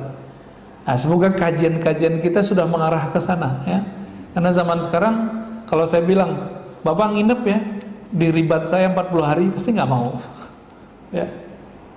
Pasti nggak mau. Wah, anak istri saya gimana? Ya pasti gitu. Saya juga mikir gitu. Maka bertahap kita coba berlatih. Kalau sempat Senin Kemis kita puasa. Kalau nggak sempat tiga hari sebulan itu. Ya. Nggak sempat bangun sepertiga malam terakhir. Sepikiran terakhir kan kira-kira dua jaman setengah. Ya udah setengah jam deh. Yang penting bangun di akhir malam. Gitu. Ada bangunnya. Nggak sempat zikir duduk setiap pagi sampai syuruk. Ya udah sekali sepekan deh atau Sabtu Minggu. Gitu. Kita cicil pak. Cicil terus. Jangan berangan-angan. Beramal kalau angan-angan nggak nyampe-nyampe. Mulai aja dicicil. Sama bapak kalau pengen pergi umroh mulai nabung. Orang berduit kalau dia nggak mulai nyisihin duitnya kalah sama yang yang kredit. Ya. nah, pada tataran ini muncullah seperti guru Imam Kushairi namanya Abu Ali Ad-Daqqaq. Apa kata beliau? Ilbas ma'an nas ma yalbasun ma yalbisun. Udah kamu gak usah menyendiri gak usah menyepi jauh-jauh. Terus gimana? Pakailah yang mereka pakai belilah yang mereka beli. Mereka beli rumah beli rumah. Mereka pakai mobil kita pakai mobil. Pakai motor kita pakai motor. Mereka makan enak kita makan enak. Tapi kata beliau apa wan farid anhum bisirrik tapi kamu harus mempunyai rahasia dengan kalbumu bahwa engkau merasa dipandang oleh Allah Subhanahu wa taala. Bisa Pak jaga ini. Kalau enggak enggak perlu berlatih. Nabi udah terjaga sirnya, tapi 10 hari terakhir masih itikaf enggak? Masih. Nabi itikaf pindah tempat tidur atau gimana, Pak? Kita kalau itikaf sekarang pindah tempat tidur. Ngobrol. Kalau dulu ngobrolnya apa? Sekarang ngobrol juga. Udah berapa nih tempat itikaf saya lihat? Sama persis. Yang paling menggenaskan apa? Dan menggemaskan Ustadz yang ngisi kajian itikaf nggak itikaf. Dia pindah-pindah tiap malam ya. Malam ini di sini alasannya apa saya pakai itikaf fikih di fikih kita nginep satu jam saja di masjid itu itikaf itu itikaf fikih Itikaf Ramadan bukan itu. Itikaf Ramadan tanggalkan itu semua. Kalau mau ekstrim lagi, kayak Nabi di Gua Hira. Nah, ini ustadz-ustadz ini loh diberi, diberi rukhsah oleh Rasulullah ini. Masa nggak mau lagi kan? Akhirnya jamaahnya dapat Lailatul Qadar. Si ustadznya masih di mobil di motor. Itulah kejadiannya Pak hari ini. Malu kita kepada Allah, ya. Maka saya mewajibkan ke dalam diri saya 10 hari terakhir kalau nggak pandemi biasanya udah di surau di masjid atau di zawiyah. Nggak ke mana-mana lagi, nggak banyak ngomong lagi. Makan juga dikurangi, cuma kurma, air putih, udah cukup. 10 hari itu efektif menurunkan berat badan dan berat dosa pak. Apa faedah beruzlah? Baik yang pertama tadi uzlah secara fisik dengan niat supaya manusia tidak ternodai oleh kita dan yang kedua uzlah secara ruhani sir. Apa kata beliau? Assalamah minal ghaibah. Selamat dari gibah. Itu gibah fikih. Ada gibah yang lain. Gibah versi ulama wali itu teringat selain Allah. Itu gibah, gibah juga. Ya. Jadi bagi seorang kekasih Allah terbersih di kolbunya lalu dia ikutin selain Allah itu sudah gaibah. Berarti Allah gaib dari dirinya. Karena gaibah artinya kosong, tidak hadir, nggak terkoneksi kepada Allah. Tapi kalau bagi orang awam seperti kita nih, gaibah apa? Gibah. Gibah udah bahasa Indonesia ya. Asalnya gaibah Pak dari kata gaib. Gaib. Membicarakan yang tidak hadir disebut gaibah. Bahasa Indonesianya gibah. Itu mas standar ya. Nah, kalau ingin mau naik kelas kita tidak membicarakan selain Allah di dalam kolbu. Nah. Dan yang kedua, arya. Ria ini kan macam-macam juga lapis-lapisannya. Nah, ria secara umum orang yang beruzlah berkhalwat dia dapat rahasia, dia selamat dari ria. Ria itu sederhananya beramal pengen dilihat karena dari kata ro'a ra'a yara ada ru'yatan ada ria'an nah, ini ria'an ria artinya saya baca buku baca Quran pengen dilihat. Saya berjenggot pengen disebut ustaz. Saya pakai gamis pengen disebut soleh. Saya jingkrang pengen disebut pengamal sunnah. Apalagi? Kalau dulu tuh orang umroh tuh paling gampang dia kena ria bercampur dalam sum'ah pamer. Dipasanglah status foto di belakang kita Ka'bah sopan gitu tuh lagi depan Ka'bah nih gitu udah kena udah padahal ke sana bukan untuk itu Nauzubillah min ya. Semoga Allah jaga kalbu kita dari itu. Kalau mau narsis-narsis Pak lagi umroh, beresin dulu umrohnya. Udah selesai, khatam satu putaran sampai sa'i, udah tahallul, bebas mau ngapain silakan. Ini baru tawaf tujuh kali belum beres udah udah foto-foto segala ya. Saya tinggal aja jamaah. Emang kita bukan jadi uh, guide-nya bukan. Saya ikut dengan mereka. Kebetulan mereka nggak tahu kalau kita guru ngaji dikit-dikit. Ya. ya, karena berangkatnya pakai levis pak, pakai baju kaos. Uh, dikira orang awam gitu ya. Saya awal-awal datang, uh, mereka udah mulai, wow Ka'bah, foto yuk, langsung foto. Belum nyampe tujuh, udah foto bareng, baris. Masya Allah, itu kejadian, kejadian nggak sabar dia mau kasih tahu ke dunia, woi saya sudah nyampe di depan Ka'bah. Padahal Allah di sana, Allah di sini sama nggak? Sama nggak? Sama pak.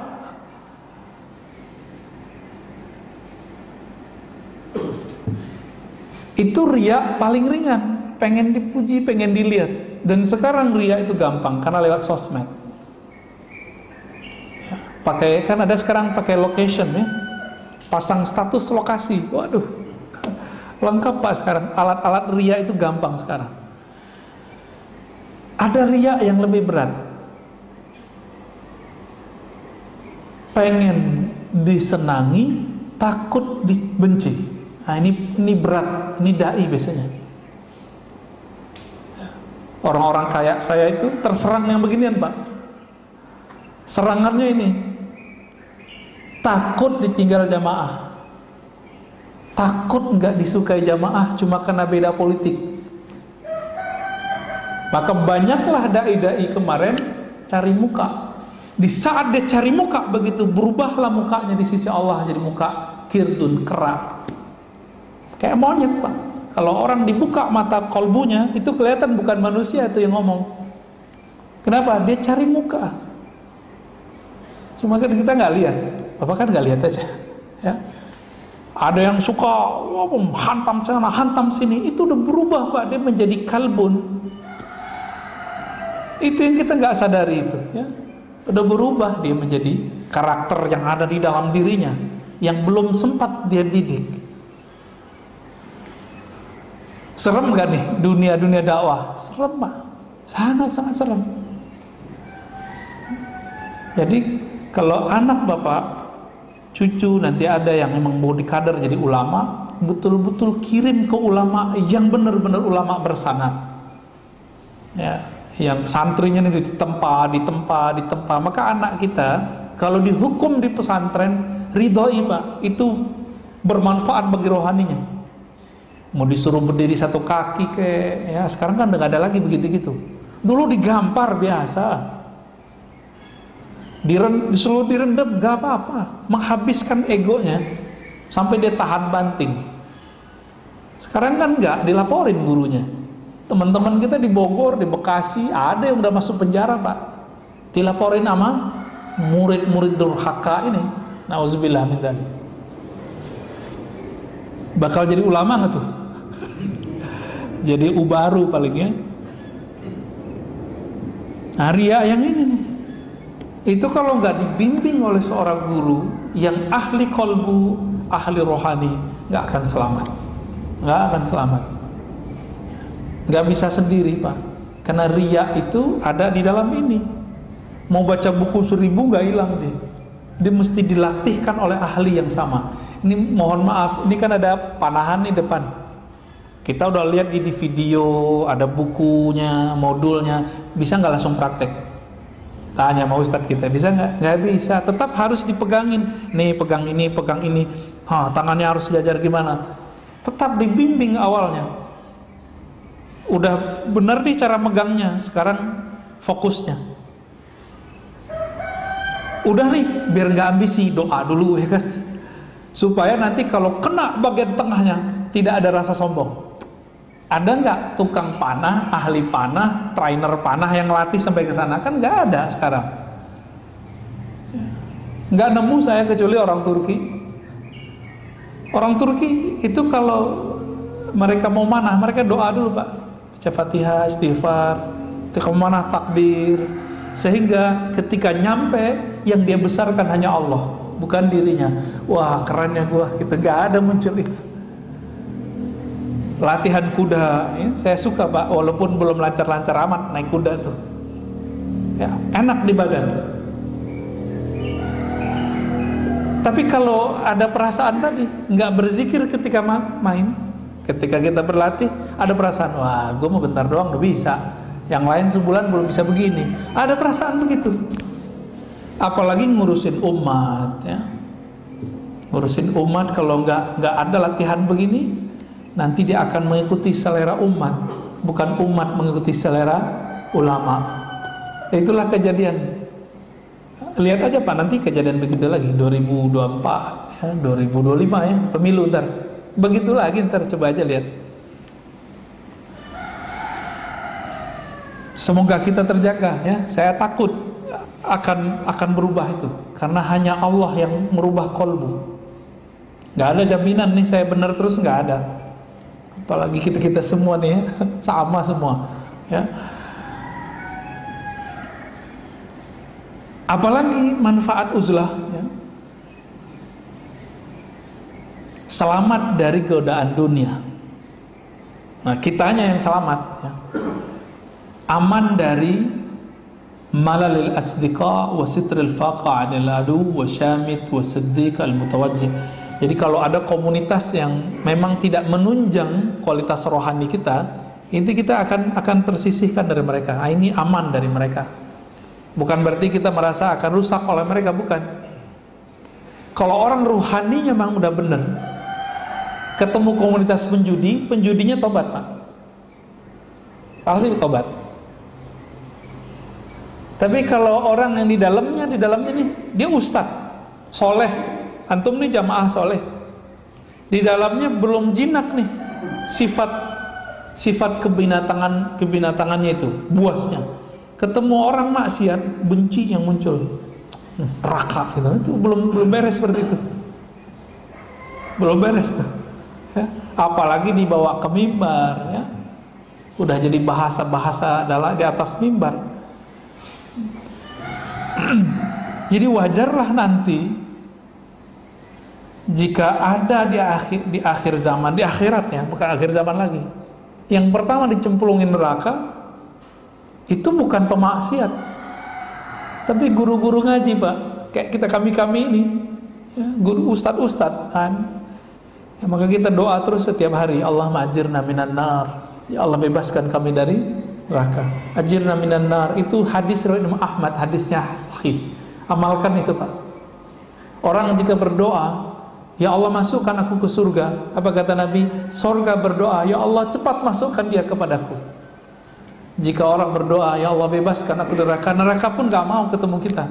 Jadi jangan sombong. Berdoalah seperti ini setiap hari. Oh Ustadz saya mau yang punya surga Yang yang yang punya neraka. Wah itu iya juga. Itu ilmu ma'rifatnya. Tapi secara latihan rohani kan di sini mainnya. Latihan nafsiah kita. Jiwa kita biar tidak sombong. Maka beliau kasih semacam kaidah. Jika ingin kita beruzlah, nah ada beberapa persyaratan yang harus dilakukan supaya nggak halu, nggak nanti diganggu oleh syaitan. Apa yang pertama kata beliau? Hendaklah orang yang beruzlah itu yahsul qablaha minal ilmi ma yusahhih bihi aqidat tauhidih. Sebelum dia beruzlah menyepi menyendiri hendaklah dia mempunyai ilmu akidah yang dapat meluruskan tauhidnya. Maka dia wajib belajar akidah ahlus sunnah. Bapak tahu kan Lia Eden tadi yang saya cerita? Yang aku sekarang katanya Jibril di badannya itu Silia Eden itu solehah dulunya. Suka bantu orang tahajud setiap malam. Tapi dia tidak belajar akidah cuma belajar wirid-wirid dari ahli kebatinan. Lalu apa yang terjadi pada dia? Kata dia nih ya malam-malam pintu saya kunci. Tiba-tiba ketika selesai sholat ada yang berpakaian putih. Ya kira lebih putih dari ini pak menghampirinya, menyapanya. Pakai assalamualaikum lagi. Padahal si yang putih-putih itu tidak pernah mengaku dia Jibril. Cuma si Lia Eden mengatakan itu itu Jibril. Apalagi kata dia, saya tidak pernah buka pintu, pintu sudah dikunci. Dia dari mana datangnya? Maka dia meyakini langsung dari langit. Awal-awal yang diajarin bener, bener, bener, bener. Nah, ini hati-hati pak. Allah itu menciptakan dua wali, wali syaitan, wali Rahman, wali Allah. Kepleset dikit si waliullah jadi wali syaitan. Dengan cara apa? Dengan cara mengirim kalau waliullah dikirim malaikat, wali syaitan dikirim mantan malaikat. Siapa? Tentara-tentara Azazil tentara iblis. Karena Azazil iblis ini pernah dulu jadi malaikat dan pernah belajar ma'rifat mengenal Allah memori itu tersimpan diajarkan kepada tentaranya disuruh tentaranya ini membisikkan kepada calon-calon wali ini. Jika dia tidak punya ilmu tauhid yang benar awalnya kan kalamnya benar. Ayo baca ini sedekah, bangun tahajud, baca ayat kursi, disuruh baca ayat kursi loh pak, disuruh baca kulhu, tapi di, di belakang nanti dipelesetin. Udah sampai 40 hari, datang lagi dia dengan cahaya yang masya Allah, engkau sekarang telah menjadi rasulku. Wah, mulai bisikan begitu. Itu jadi Ahmad Musodek salah satu bentuknya. Itu jadi Lia Eden di Parung jadi Imam Mahdi pak. Kopiannya hitam kayak saya. Ya. Ada juga yang ngaku Imam Mahdi macam-macam tinggal kita tanya ya. jadi kalau ada yang ngaku Imam Mahdi tanya aja. Dia punya nama rohani ya. kalau yang dia kasih nama bapak nama yang dikasih bapaknya wah laut itu. Palsu itu. Ya. Halu. Yang masuk was-was setan. Iblis ini dulu menggelincirkan moyang kita, Sayyidina Adam, benar nggak? Tergelincir nggak? Bisa tergelincir pak, Nabi Adam bisa lewat sama iblis. Iblis ini punya ring satu tentara-tentaranya 70 ribu kira-kira begitu kalau dijumlahin bisa lebih bisa kurang ini mereka langsung diajarkan ma'rifat oleh iblis. Inilah yang akan menggelincirkan wali-wali. Ini udah, udah dihambang pintu kewalian dia menjadi kekasih Allah. Diples sedikit aja udah. Kalau nggak belajar ilmu tauhid lewat ya jadi wali setan. Sakti ya sakti. Bisa ngobatin orang bisa pindah tempat bisa mecah badannya bisa ketemu dalam di beberapa tempat di waktu yang sama. Di Jawa itu ada istilahnya apa pancer-pancer gitu ya. Apa namanya? Ya yang yang badannya bisa mecah-mecah ketemu di tempat di waktu yang sama. Ada pak ilmu begitu. Waliullah juga bisa begitu. Ah ini kan mirip-mirip nih. Mirip-mirip pak apa kata beliau? Apa faedahnya? Likai la yastahwiyahu syaitanu yuwaswisu supaya syaitan tidak memperdayanya lewat bisikan-bisikan. Ya. wahyu itu kan bisikan. Wahyu yang turun ke nabi itu bisikan pak. Ilham bisikan juga. Apa yang membedakannya? Ini bisikan dari Allah dari malaikat atau dari syaitan? Kalamnya hampir sama tapi nanti muatan terakhirnya beda di tauhid dan syariat. Masih ingat cerita Syekh Abdul Qadir Jilani? Beliau sudah beruzlah lebih dari 25 tahun. Bayangkan Pak ada yang kuat nggak 25 tahun? Mana ada Ustadz sekarang kuat 5 tahun? Saya juga gak kuat ya 25 tahun nggak nggak nggak bergabung dengan manusia. Meninggalkan semua nggak menikah nggak ngapa-ngapain. Cuma zikir menyebut nama Allah. Menyebut nama Allah. Nggak boleh terbersit sedikit pun selain Allah nggak boleh. Batal dia. Tiba-tiba di tahun ke-20-an itu datang cahaya yang berlipat-lipat. Mirip-mirip seperti yang diilustrasikan dalam surah An-Nur ayat 35 Allahu nurus samawati wal Allah lah cahaya langit dan bumi. Di tengah ayatnya nurun ala nur. Nur berlapis nur nur berlapis nur. Cahaya di atas segala cahaya. Datanglah itu. Iblis yang 70 ribu itu datang yang pertama datang yang kedua. Setan dari api bukan api mengeluarkan cahaya enggak bercahaya juga dia pak. Berlapis-lapis cahaya sehingga dalam hatinya wah kayaknya Allah nih bisa datang nggak? Bisa pak. Allah mendatangkan cahayanya bisa. Tapi Allah itu bukan zat cahayanya itu bukan seperti itu. Berkalamlah kalam-kalam tauhid. Uh, bagus-bagus. Karena setan itu tidak pernah ngomong kasar, Pak. Yang ngomong kasar itu sisi nafsiyah kita dalam diri. Kalau setan pasti ngomongnya halus. Ayatnya saya sudah bacakan dulu. Inilah kana sihun amin. Sesungguhnya aku wahai Adam orang yang sangat lembut, tulus, terpercaya untuk membimbingmu. Kalim kalamnya begitu. Engkau akan aku bimbing, hai Adam. Engkau akan aku bimbing, hai Abdul Qadir. Kalau keluarlah kalam-kalam. Betul-betul panjang kalam itu sehingga kemudian Syekh Abdul Qadir mengatakan, "Wah, ini kayaknya dari Allah nih." Tapi beliau belum percaya dulu. Tunggu, sabar. Sampailah kalam terakhir dari cahaya itu. Jadi ada ada ada suara dari kalam dari cahaya itu. Apa katanya? Sekarang wahai Abdul Qadir, engkau jadi kekasihku dan semua yang aku dulu haramkan halal bagimu. Syekh Abdul Qadir sebelum dia uzlah, dia belajar fikih dulu, Pak. Ya. belajar akidah dulu. Dalam bab akidah ada satu bab.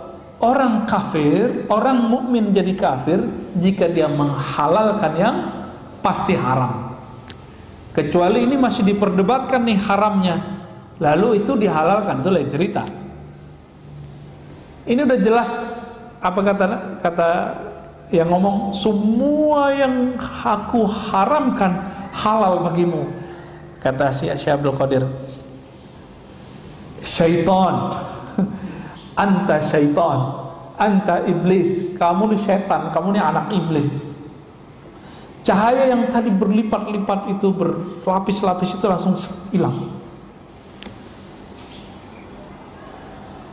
Jadi ma'rifat syaitan dan ma'rifatullah bedanya cuma satu pak menghormati syariat satu itu aja jadi ketemu wali mana pun nanti pastikan dia tidak pernah berkalam menghina syariat. Zohirnya kita nggak lihat dia sholat nih. Urusan dia. Zohirnya kita nggak lihat dia mungkin eh, apa namanya baca Quran. Nggak apa-apa. Yang penting dia tidak pernah mengatakan apa itu Quran? Gitu.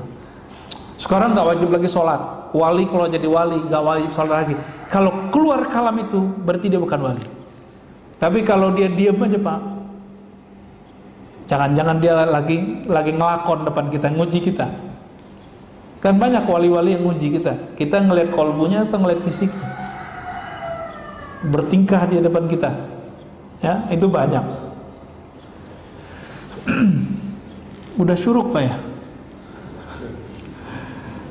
Ya udah dulu deh pak. Ah, terakhir Syekh Abu Yazid Bustami atau Bayazid yang sezaman dengan Imam Muslim. Beliau diizinkan oleh Allah untuk berkalam-kalam dengan Allah ruhaninya. Ini Abu Yazid. Mirip-mirip seperti kisah Nabi Musa. Cuma untuk wali namanya ilham. Dalam ilhamnya dia bertanya ya Allah bagaimana cara aku mencapai ridhomu hadir dalam majelis-majelismu apa kata Allah? Ilhamnya muncul. Farik nafsak wa ta'al. Talak tigalah nafsumu. Lalu datanglah kemari. Maka Abu Yazid Al-Bustami itu betul-betul melatih jiwanya supaya tidak menjadi kebinatangan baik ternak ataupun buas sehingga kemudian beliau menjadi sultanul arifin.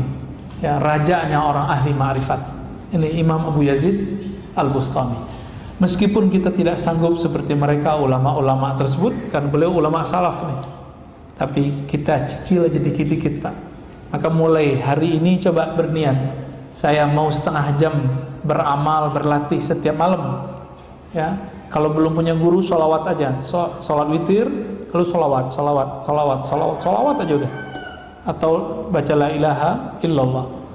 Ah, kemudian pagi sore hari Sabtu pengajian juga pak di sini?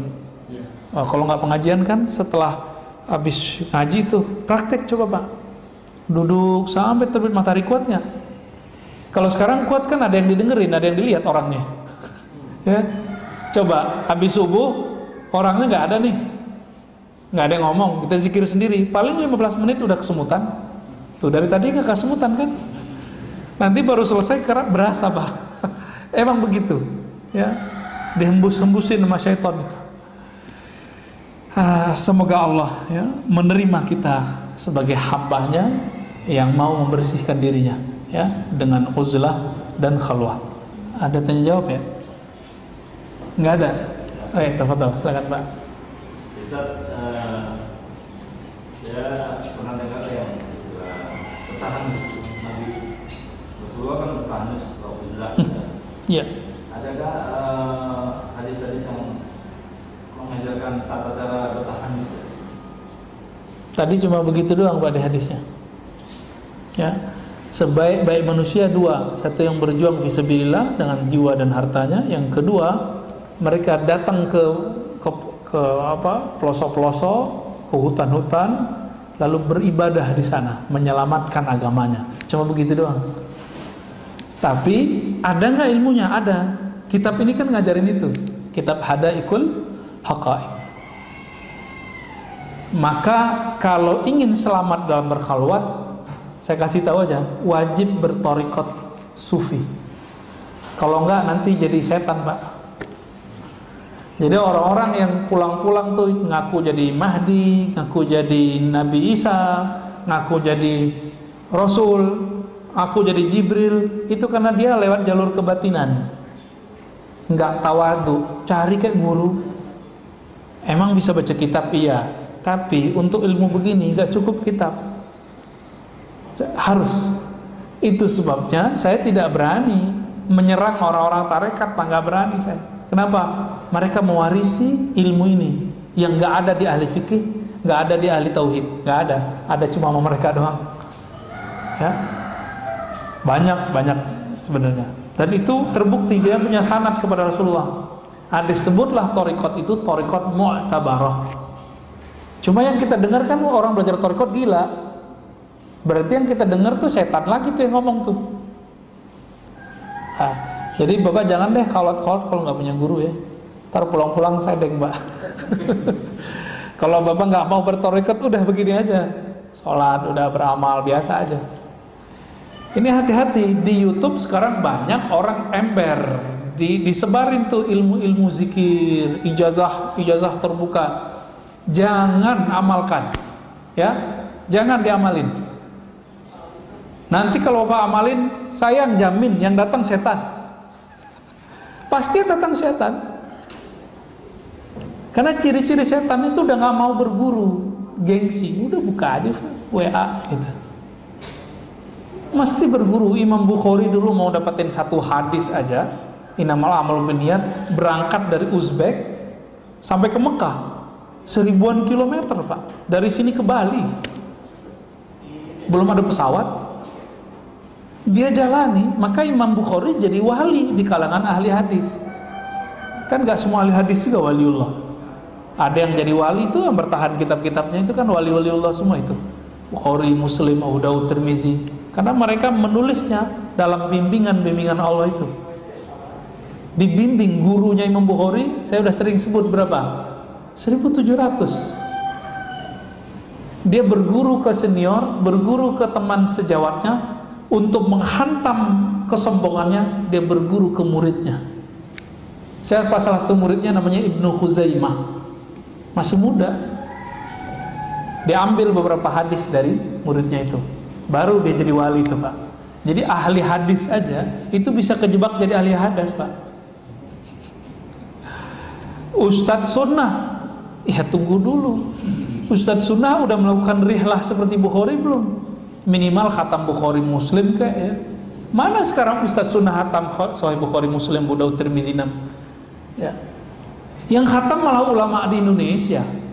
Maka jangan belagu dulu tamatan Timur Tengah tamatan UIN IAIN tamatan doktor santai aja dulu. Ngaji kitabnya khatam gak gitu. Ya kan sekarang ngebrand ngebrand diri itu kan gampang sekali Nah, saya takut dengan brand branding itu ya, dan saya minta ampun kepada Allah apabila dulu pernah tergoda itu itu. Ya, nauzubillah min dzalik. Ya, fadal.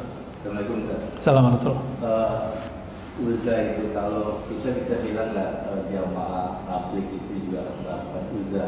Hmm. Ya, saya pernah diajak tiga kali, sepuluh sampai empat kali itu satu. Yang kedua, bagaimana uh, kita seperti di dunia modern itu mempraktekkan ini. Ya, mempraktekkan uzlah atau seperti jemaah tabligh masuk nggak nih gitu ya pertanyaannya. Ya, jemaah tabligh itu didirikan oleh Maulana Ilyas Al-Kandahlawi. Dia seorang ahli hadis dan mursyid tarekat Naqsyabandiyah, Qadiriyah dan Khistiyah. Tiga tarekat Pak. Yang saya tahu, mungkin lebih. Mungkin lebih wallahu alam. Tapi dia lihat ahli torikot ahli sufi di zamannya sibuk dengan zikir-zikirnya. Lalu tidak mengurusi umat. Terutama yang ulama nih. Sebaliknya para pendakwah kosong kalbunya dari zikir. Dia udah ada berdakwah tapi tidak tidak berlatih rohani. Tidak punya khalwat Maka beliau padukanlah dua ini, jadilah gerakan khuruj dalam jemaah tabligh. Ada, jadi mereka bukan uzlah, khalwah ya. Kita coba lihat tuh malam-malam mereka orang belum bangun dia sudah bangun, ya kan? Nah itu khalwat namanya pak. Kalau uzlah dia ke hutan-hutan, ke gunung-gunung, ke goa-goa, itu bedanya. Jadi yang dilakukan oleh kawan-kawan kita jemaah tabligh, ahbab tabligh itu adalah khalwah. Siang-siangnya mereka mengamalkan hadis berdakwah. Ya kan? Maka kita disapa, dijenguk oleh mereka. Tapi ada juga yang yang suul adab banyak ya. Kita habis ceramah diceramain sama dia ada. Kita bawa kitab, Pak. Udah jelas kita bawa kitab nih, kita nyantri nih. Kan ujian juga buat saya, Pak. Ya, mau nggak diceramain orang kan gitu. Diceramain kita. Karena saya tahu kaidah jemaah tabligh tidak boleh menggurui guru, maka saya balikin itu. Ngamuk-ngamuk jamaahnya, ya. Dibentak lagi saya. Nah, di situ kemudian baru teringat. Saya tekanlah sisi sisi si ya, sisi emosional itu, sisi binatang buas. Yang bentak saya saya salamin, Pak. Ya, semoga dia ingat sampai sekarang dan saya sudah maafkan. Ya. Apa lo, sok pinter lo, anak muda juga nggak punya pengalaman, digituin. Dia nggak tahu kalau kita nyantri udah belasan tahun, muka aja yang culun. Ya. Kan berasa begitu, tuh udah mulai lagi tuh Pak, kambuh lagi tuh. Astagfirullah. Ya. Begitu halusnya syaitan itu, halus-halus sekali. Nah, godaannya teman-teman ahbab tabligh begitu. Nah, godaannya ustadz kan nggak mau dengerin ceramah orang. Nah, maka nih saya melatih diri saya dengan mau dengerin ceramah orang atau khutbah. Jadi kalau Jumatan itu saya jarang dengerin eh, terima khotib Pak biasanya. Pengen dengerin aja khotibnya ngomong apa. Kalau pulang-pulang tuh saya cek. Pulang-pulang kalau saya ngomongin si khotib berarti saya belum beres. Nah, nanti ada aja yang negur di rumah tuh. Ah, ustad isinya gosipin dai katanya gosipin ustad. Ingat kita. Alhamdulillah ada yang ingetin ya. Jadi ahbab tabligh itu berkhalwat. Cuma karena itu sudah paduan-paduan-paduan, torikotnya sudah tidak murni, dakwahnya pun jadi kaku sebagian. Jadi mereka pun sekarang lagi mencari model mana yang pas. Sampai ada ahbab tabligh itu datang ke salah satu wali Allah di India, minta nasihat. Nah, kan bener nih minta nasihat nih. Ini hobi mau ceramain orang, taskil, taskil, taskil istilahnya ya. Apa kata si wali? Ente apa sih yang kurang? Zikir pagi udah, sore udah, tahajud udah, jamaah udah, sedekah udah, bermusyawarah udah, ber, semuanya udah. Yang kurang satu, kolbunya belum ta'aluk billah. Kolbunya belum takluk, belum takluk, belum berkoneksi kepada Allah. Ngomong-ngomong tauhid, tapi di lidah doang, perasaannya enggak. Ya. Apa itu Ustaz? Kirain surat cinta Ustaz Dari Pak Muhammad Jailan ya.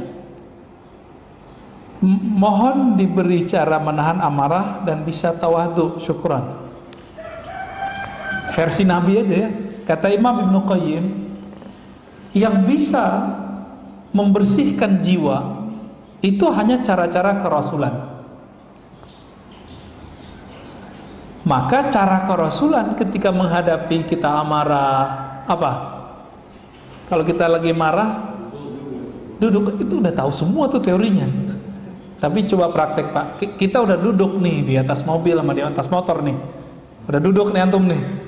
Gimana caranya? Dibel orang, disalip orang, disenggol orang. Berasa aja gimana? Gak terima kan? Gimana caranya? Kan udah duduk, nah sekarang mulutnya yang didudukin. Senyum. Senyumin aja pak. Berarti senyum. Kalau kita sudah duduk, nggak mungkin dong lagi nyetir kita tidur. Kan kalau masih marah pas duduk kan disuruh tidur. Berani pak tidur lagi nyetir. Kan nggak mungkin. Ah senyum. Kalau bapak senyum langsung dapat dua pahala. Kita mengengkang amarah, yang kedua dapat senyum ya walaupun ntar yang disenyumin ngerasa di, nyengir ya nyengir juga nih orang Gak ada masalah ya. Itu caranya. Kalau kita lagi di rumah, ah, itu gampang. Nah, Bapak Ibu, kenapa rumah itu jadi sarang setan, sarang binatang buas? Karena kita masuk nggak membawa nama assalam. Maka Imam Fudail bin Iyad mengajarkan dalam kitab beliau, kalau mau masuk rumah bacalah salam kepada Rasulullah. Bid'ah nggak tuh? Ada kitabnya kok Pak ya. Imam Fudail bin Iyad, ya, Qadi, Qadi Iyad bukan Fudail ya. Qadi Iyad, kitab Asy-Syifa. Itu mengajarkan begitu. Imam ahli hadis beliau ini, pensyarah kitab-kitab hadis dan menulis kisah-kisah Nabi yang sahih dan hasan. Apa kata beliau? Jika engkau masuk ke rumahmu, bacalah salam kepada Nabi, lalu salam kepada dirimu, baru salam kepada orang di rumah. Assalamualaikum ya Rasulullah. Rasain Pak, saya ngerasakan.